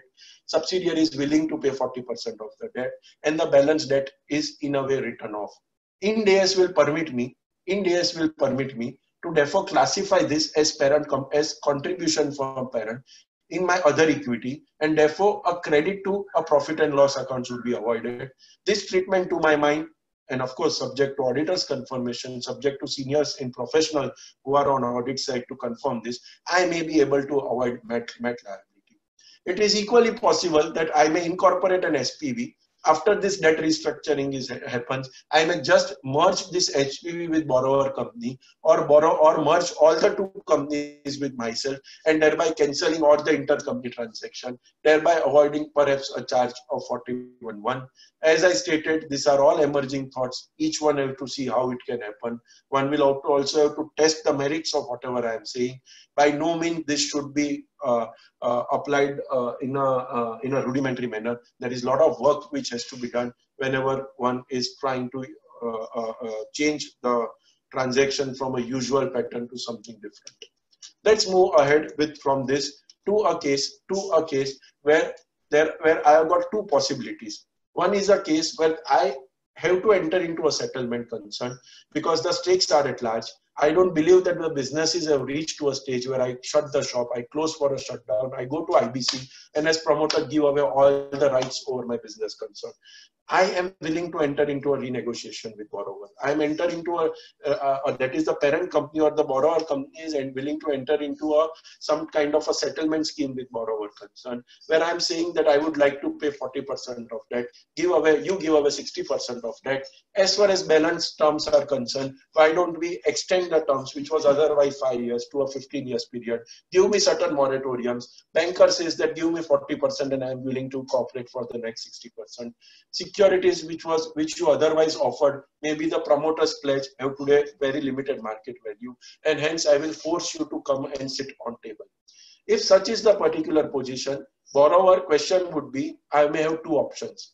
Either borrower himself does not have liquidity parents will have to infuse that liquidity and borrowers will have to enter into this settlement scheme. Second option can be that i myself as parent have given certain covenants, have given certain guarantee to the bank concerned. I say to the bank, and therefore banker, and therefore banker, even under the revised scheme, enforces that guarantees, and I am asked to pay money which otherwise subsidiary was to pay. Question there is, the question therefore there is, the question therefore there is that whether subsidiary would be entitled to claim this particular deduction or that is the question therefore is whether parent company would be entitled to claim this particular deduction where I am honor, where I am honoring my obligations as guarantor concerned. Courts have been divided here again, but facts are very interesting. If I am able to prove that my honoring of commitment was only to facilitate my business purpose. Maybe the securities which I offered with banker because my borrower or subsidiary had no legs of its own, had no legs of its own. And therefore the securities which I offered with the bankers was such that I had to come to a settlement. Maybe take a case where I was into a real estate business. I offered collateral to the property which is presently under construction. My borrowers have, has gone front and the bankers are behind me to honor the commitment. Maybe because over this property I have already started a construction work, I have committed to my own customers that I will complete a project beyond a particular time. If borrower thereafter pulls the trigger and tries to take hold of this particular underlying asset, it may badly impair my business concern. And therefore, it is very much possible that had parent company enforce this particular obligation, it would be classified as a business expenditure. As against that, if I had to infuse capital into my borrower company, that capital wouldn't be a business expenditure. Clearly, a lot of maths, a lot of work which has to be done. law today where it is and the economic reality where it is gives me a lot of options. It is for me as business to see what option A, and I'm again repeating, has to meet the tenor of law, meets the test of bona fides, and thereafter I move. Anything which is done in artificiality is a temporary hallucinated relief, which would give a temporary relief with a whole host of litigation, whole host of penalty, interest, and tax consequences which may follow. Moving further on that restructuring part, this was some examples which I proposed to take. There can be a possibility, there can be a possibility where cash is not with me, but I need cash. Cash may be with my parent company, cash may be with my subsidiary company, cash may be, maybe, maybe with my sister subsidiary company, cash may be with my foreign companies outside India. And today where we are, cash is definitely the king. It may either support me to stabilize my operation in a given marketplace may help me to be a kingmaker.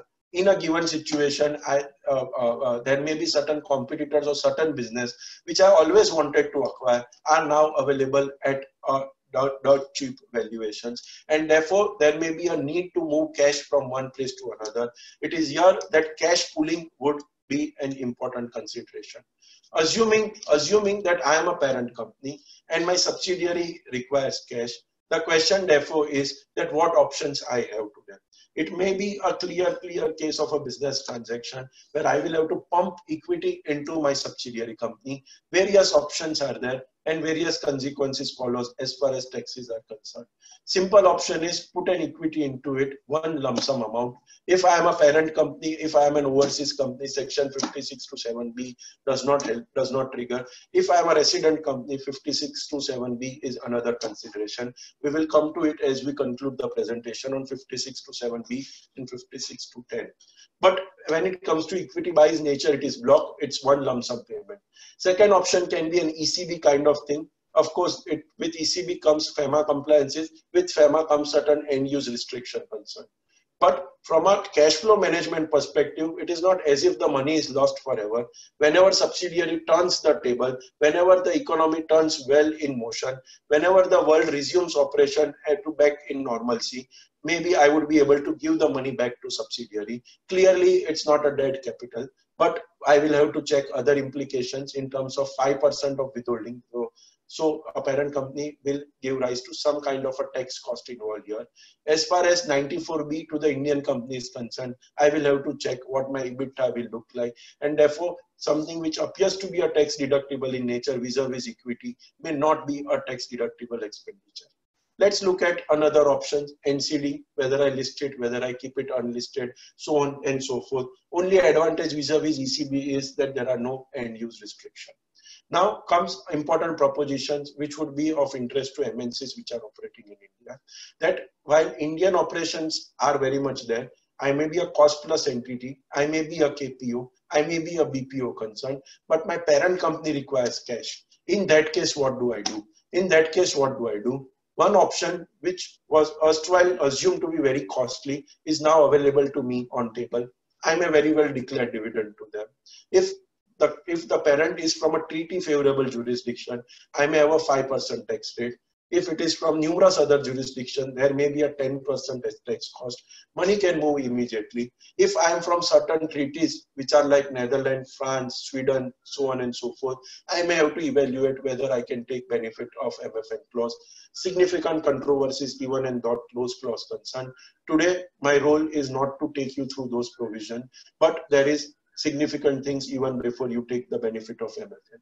Of course, if you are taking a treaty benefit, other addendum things has to be seen on a safeguarding front, whether provisions of GAAR can be invoked, whether I am beneficial owner, whether I have a tax residency certificate, so on and so forth. Another interesting options would be now take a case where either I may be having a cash at my foreign subsidiary level or the subcode 2 which is in your screen may not be a foreign subsidiary, maybe just a group company into an entire vertical chain. The cash may be required by the Indian company at the uppermost level of your screen concern. Can I use certain provisions under Income Tax Act which gives me leeway?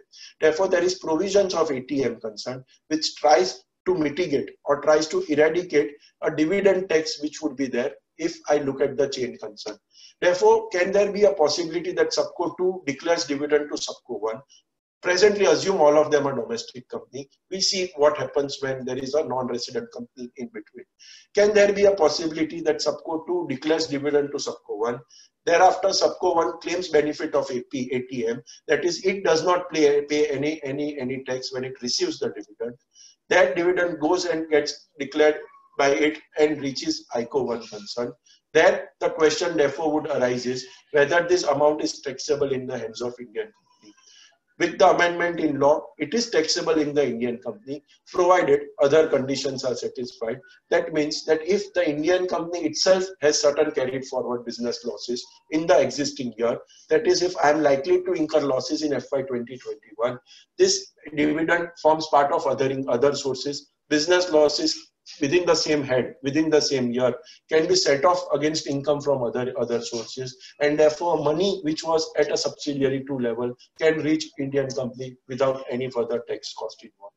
It is equally possible in this case that the subsidiary company 2 may be a foreign company. So when it declares dividend to subsidiary 1, subsidiary company 1 may be subject to 115 BBD I may have to pay tax at 15% concern.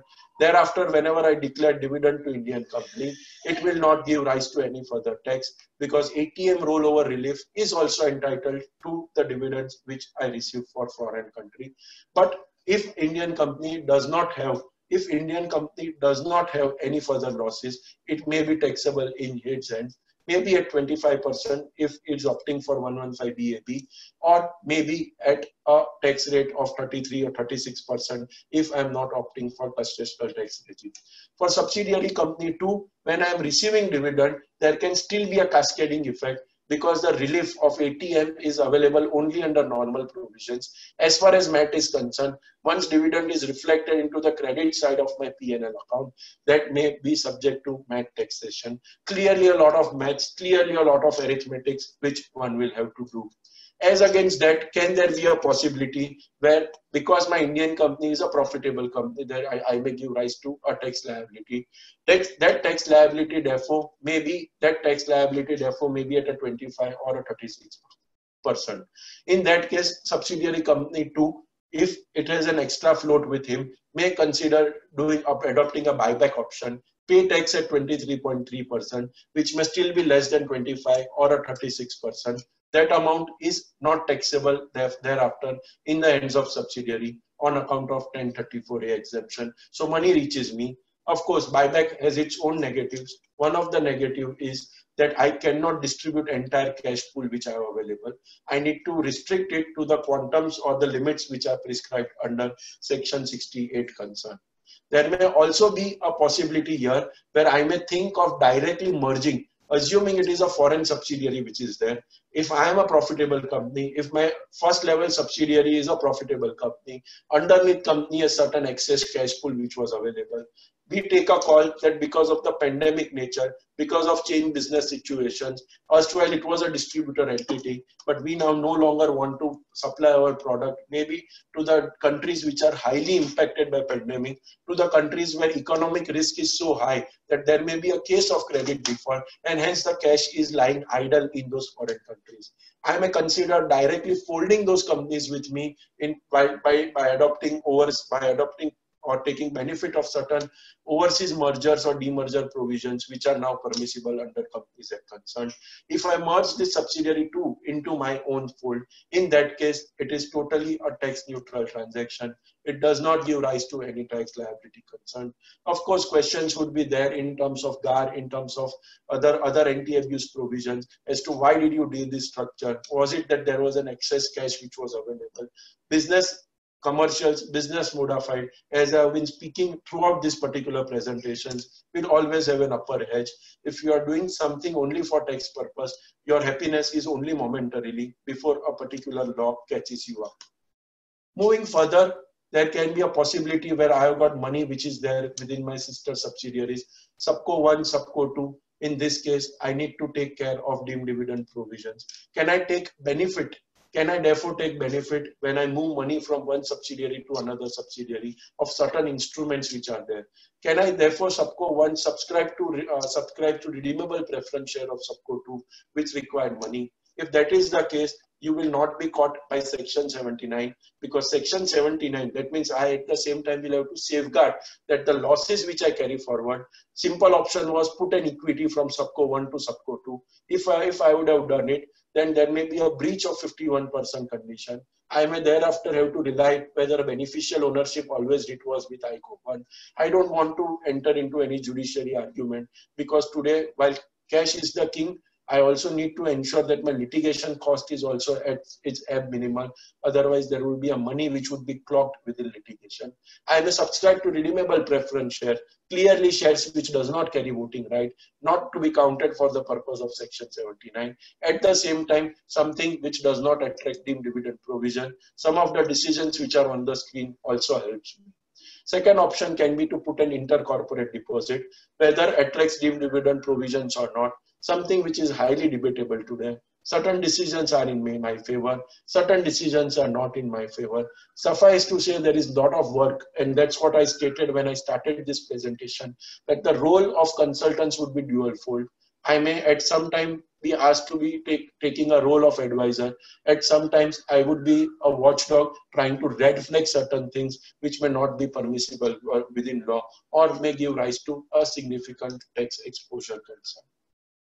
Next comes shares and securities. Now, friends, stock market could be as volatile as, as it can be.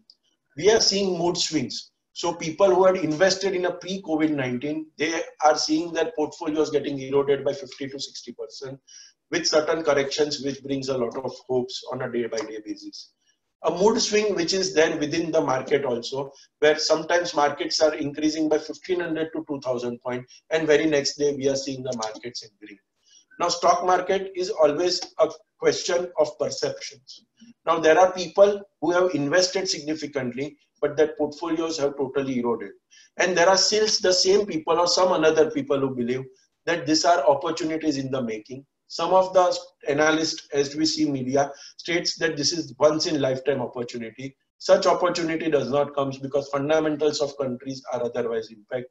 Frankly, I don't know which way to move. But there are people who would like to make most of these opportunities. For the people who invested few weeks back in time when market was at ebb low, they already have accounted a 20 to 22% gain, a uptick in terms of what price they acquired and what price the stock is today analysts say that after one year or whenever it is, the prices are bound to improve. You will have gains which may be multifold.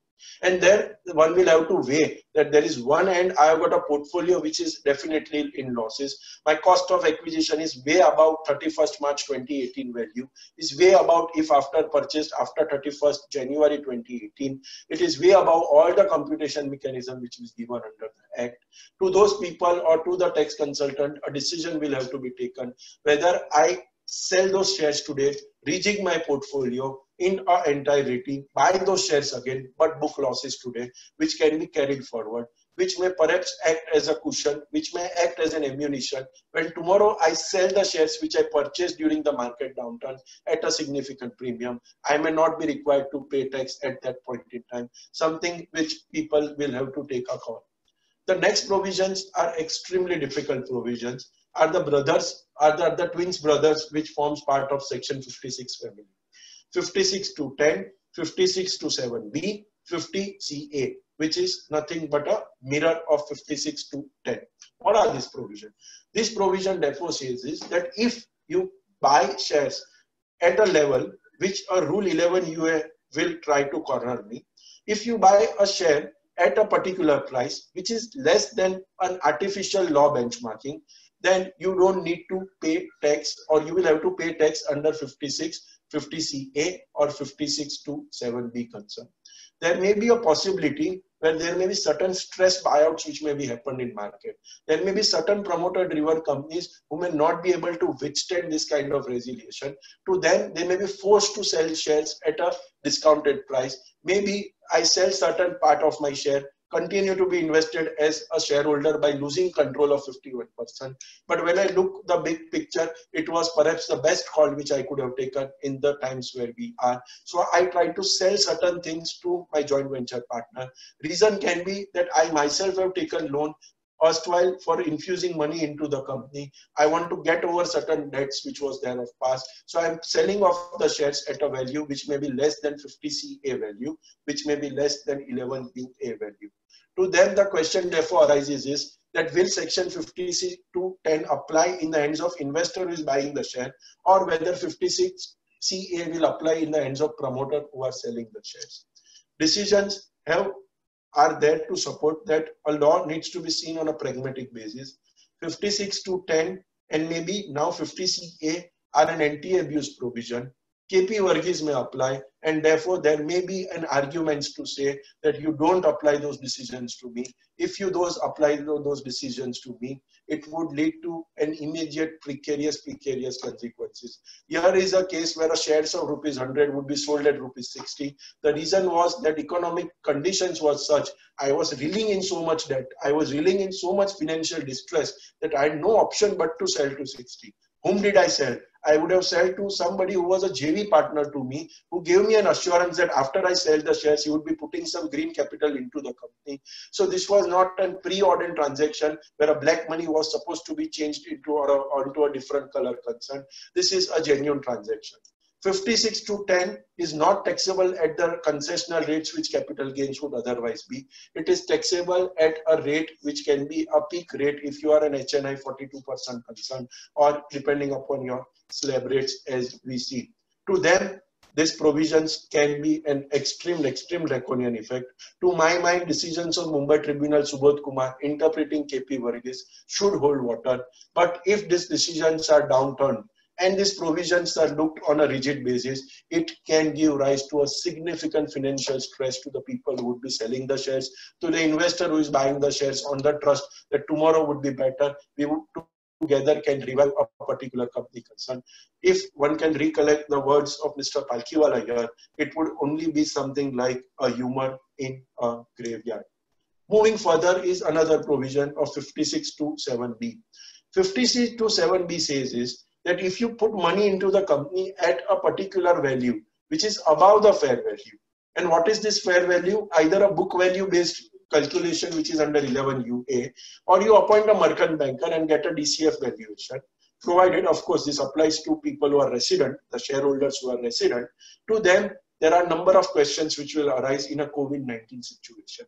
Assuming my subsidiary is going through an economic downturn and I have to capitalize that subsidiary, today how I can value the shares of this company.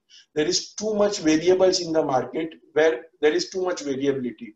There is no surety. There is no particular trend where my cash flow I can predict visibly. It may be possible that I may be predicting it considering the economic reality. Who knows tomorrow there may be a V-shape v, V-shape uh, kind of economic bounce back. Things may turn better. And there the question would be that when you infuse the money into the company, yardstick of 56 to 7B would be questioned. There my valuation should be questioned because what the law on valuation at this moment as it appears, looking at tribunal decisions is like this, that when you are issuing the shares, you will have to see what was the reasonableness of the assumptions which you make. In order to test and purely test the reasonableness of this assumption, you can see what was the cash flows, what was the business, what was the profitabilities in future year. If there are significant difference between the two, questions would be asked to you as to prove that whatever valuations you did when you issued the share. This question is not restricted to today are promoters who are trying to capitalize their company. This can be a question for people, say, in one year before we infused money into the company. To them also, I would have taken a cow of four to five years. I would have applied certain cash flow presumption, certain discounting rate, certain risk premium which would have been built in, which are materially different in a time when we look the economic downturn post COVID-19. To them also there would be a significant difficulty which may arise. A solution therefore is only revisit the assumptions which was made when you made those cash flow assumptions for the purpose of 56 to 10. Document clearly as to there was an impact of COVID-19. Document clearly that my prime customer because of the economic downturn created in his business because of COVID-19, stopped purchasing goods from me. My cash flows got impacted. My rate at which I was otherwise borrowing was 10% because I don't have enough securities. I am being asked to borrow at 14%. So there are significant change which have taken place. Friends, in my view, and this is more of a representation point, that there is a provision which is this 5627 which looks at the world with suspicion. It does not trust a businessman. The provisions are draconian to an extent that when a person stands in front of a mirror, provision says that you don't even trust yourself. You may be my parent company. As long as you are a resident company, you need to comply with section 5627B.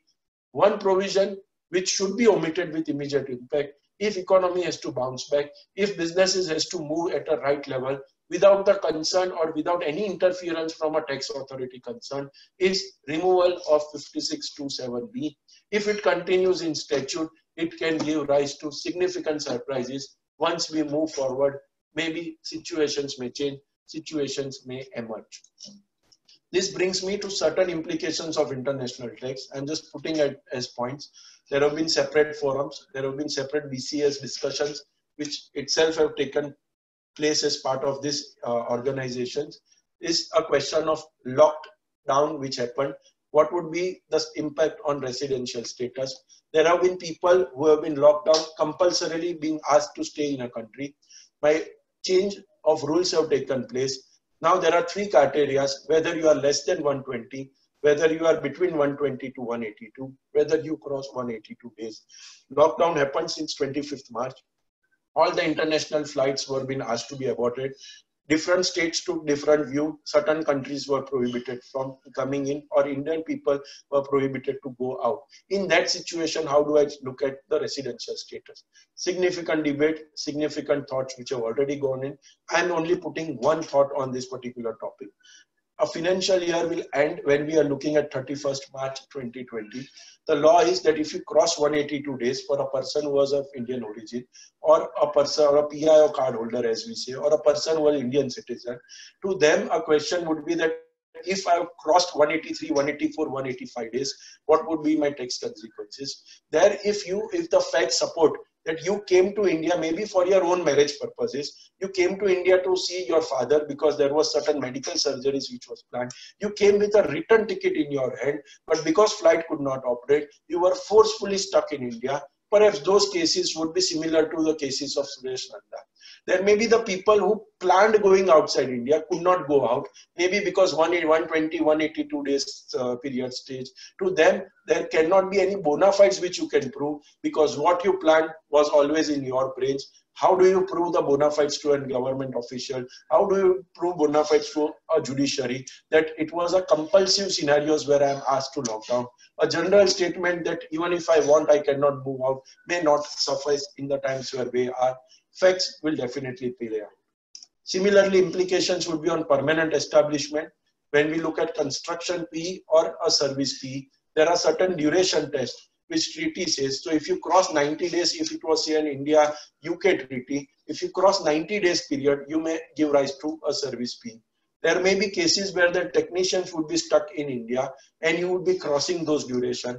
Question to them would be, uh, will you exide or will you subject those foreign enterprise to taxable presence in India? In cases of permanent establishment, problems are not restricted to a PE kind of situations. Once you have a PE in India, even the employees who are of foreign enterprise may give may have taxable presence in India because the short stay exemption is thereafter not there and therefore you it may give rise to the taxability of those employees in India. Certain guidelines coming from OECD which says that these are exceptional situations. You remove those exceptional situations, only look at those active days which are a business proper days and thereafter subject a foreign enterprise to tax in India. We will have to see to what extent this guidelines would be accepted in times to turn. Transfer pricing, lesser we speak, the better it is. For the simple reason that the concerns would be largely as to how the businesses will move. To all the PPTs, to all the presentations which we did, there was something known as law and there were certain situations which we were envisaging and the law was law was constant. When it comes to transfer pricing, the law is limited. Law only gives certain guidance in terms of how do I benchmark or what are the methods, how do I move forward. To them, it is the business which generally takes a step further than what law is. And thereafter, you put those business situations within the law. We don't know when we look at 2019, when economy will open. Even if economy opens, what activities could be done without any further fear or whether any further grief. My company, which is there, which whether it is in a red hotspot area, a green zone or a orange zone, I am not aware. One question which is troubling today is that what should be my transfer pricing policy for 2021 perspective? Because even if there is a lockdown which will open up my my, my transaction with my associated enterprise will start. To them answer is something like this. There is no clear answer one will have to make some kind of guesswork whether you believe that because of this economic downturn in the industry which you are operating. Take a case if you are operating in a PPE kind of industry or a medical equipment industry, your businesses have flourished. It has not really resulted in an economic downturn. But if you are in an industry which may result in an economic downturn, what is the percentage which I believe that overall industry would be impacted? I reduce my margin for the intercompany transaction which happens in 2021. Thereafter, I go further, maybe in the month of December, maybe if at all situation normalizes, because if the threats are real, that the vaccines would be in the month of July and January and December, normalcy will never return. One after one, each people, each industry would be caught by this medical war. If such is the case, one will have to see whether there can be a true up or true down which is taking place. Some people have, in order to avoid litigation, adopted for safe harbor rules. This can be certain IT companies who are doing certain ITeS functions. Maybe 17% on a cost sounds reasonable. I am, a, I am a small taxpayer. I don't want to subject to any transfer pricing litigation. So I may be fine paying a cost plus 17%. Options have to be exercised on a YOY basis they will have to test whether I may be right giving a margin of 17% or the time is right to benchmark the transaction at 10 or 12% and still save tax to the extent of 5% concern. People who have concluded APAs will have to revisit whether my critical assumptions are getting impaired or are getting disjointed because of this particular change in businesses, which we will see. That's largely an end from myself in terms of various consequences. I'm abstaining not to go onto the tax implications which may follow because of Ind AS accounting. That may be a session in itself. With this, I end at this moment, leaving open the floor for questions, if any. Thank you, Bhaumik. Uh, we have one question in our chat box by Sangeeta Garg, uh, where okay, she has... I, I am reading it and I'm taking it now, Akshita. Yes. Uh, Sangeeta says, are the loan waivers still allowed under the tax as tax deductible provisions? I am not clear on uh, the basis whether there is any provision uh, which supports. So first of all, whom I am saying as far as loan waiver is concerned. If I have borrowed money, then waiver will, if at all, give rise to certain profitability in a common sense term. So one does not, uh, can you remove the screen share? Okay. Somebody has objection with screen share, maybe. Mm-hmm. Uh, okay, but uh, what has happened is, uh, okay, uh, uh, okay, you may uh, ask the questions, but I don't know, Sangeeta, if I'm waiving off a loan, how far it gives rise to gain and deduction. Deduction is to the person, in our cases, parent company, etc., which we were speaking, which acts as a guarantor concern. Rutvik thereafter mentions that can there be certain GAAR consequences if I am selling off my sell, uh, equity and thereafter I am purchasing off my equity. Uh, uh, uh I'm fairly sure uh, um, there can be a lot of debates on what I'm speaking. Two things are there. There is an inbuilt safeguarding mechanisms which are there. What are the safeguarding mechanisms is that if my tax benefit does not exceed 3 crores concern. My 3 crore tax benefit means that if I my tax benefit exceeds 3 crores, in that case, in that case, you subject me to GAAR concern. Now, two, two questions will arise is that if, if I consider 20% as a taxable rate, if at all, that means I have to cross an economic loss of more than 15 crores concern. One, possible. There may be HNIs who may be having more losses than this amount. So for small players, definitely GAAR may not be a concern. One. Number two, I may be genuinely doing a portfolio rigid. So if I was otherwise in a TCS kind of exposition, I may not buy some similar shares, or maybe it may be a wait and watch concern where I may like to just rejig the portfolio in a manner that overall risks are kept as it is. It may not be a mirror one by one kind of stock purchase. I may just change the portfolio in a manner that overall attributes are achieved. It is equally possible that whenever a person invests and one looks at back it could have been a case where I should have stated that rather than investing in a pharma company A, I should have invested in a pharma company B. Your portfolio continues when it comes to the exposure to a particular pharma industry. So this would be the way in which uh, I would uh, state it. Now, unfortunately, what has happened is that the chat box, yeah, I can see. So this was on GAAR, uh, which was there. Uh, uh, yes, your main purpose has to be tax avoidance Second, GAAR has certain peculiar situations as to when when I am seeing it. So for example, if I have taken shares and I'm selling it on a piece by piece basis. So for example, I am taking shares, say for example, Reliance, which have increased 20% since it's low or 25% since it's all time low right now. Then it is possible that I may be selling shares in a piecemeal time. Say in year one, when I'm selling shares, my gain not may not be more than three crores. So while overall portfolio which would have been sold would have a loss which may be more, which may be more, but I have to see GAAR benefit on a year-on-year basis, and therefore there can be a possibility concern where uh, I may be able to uh, put across uh, uh this particular thing. Uh, moving further, moving further, just hold on. Uh, just hold on. Yeah. I, uh, if you can see, yeah. Rutvik, you are unmute as also your video can be shared. If there are any questions, you can directly pose it on the window. No, thanks, Bhaumik.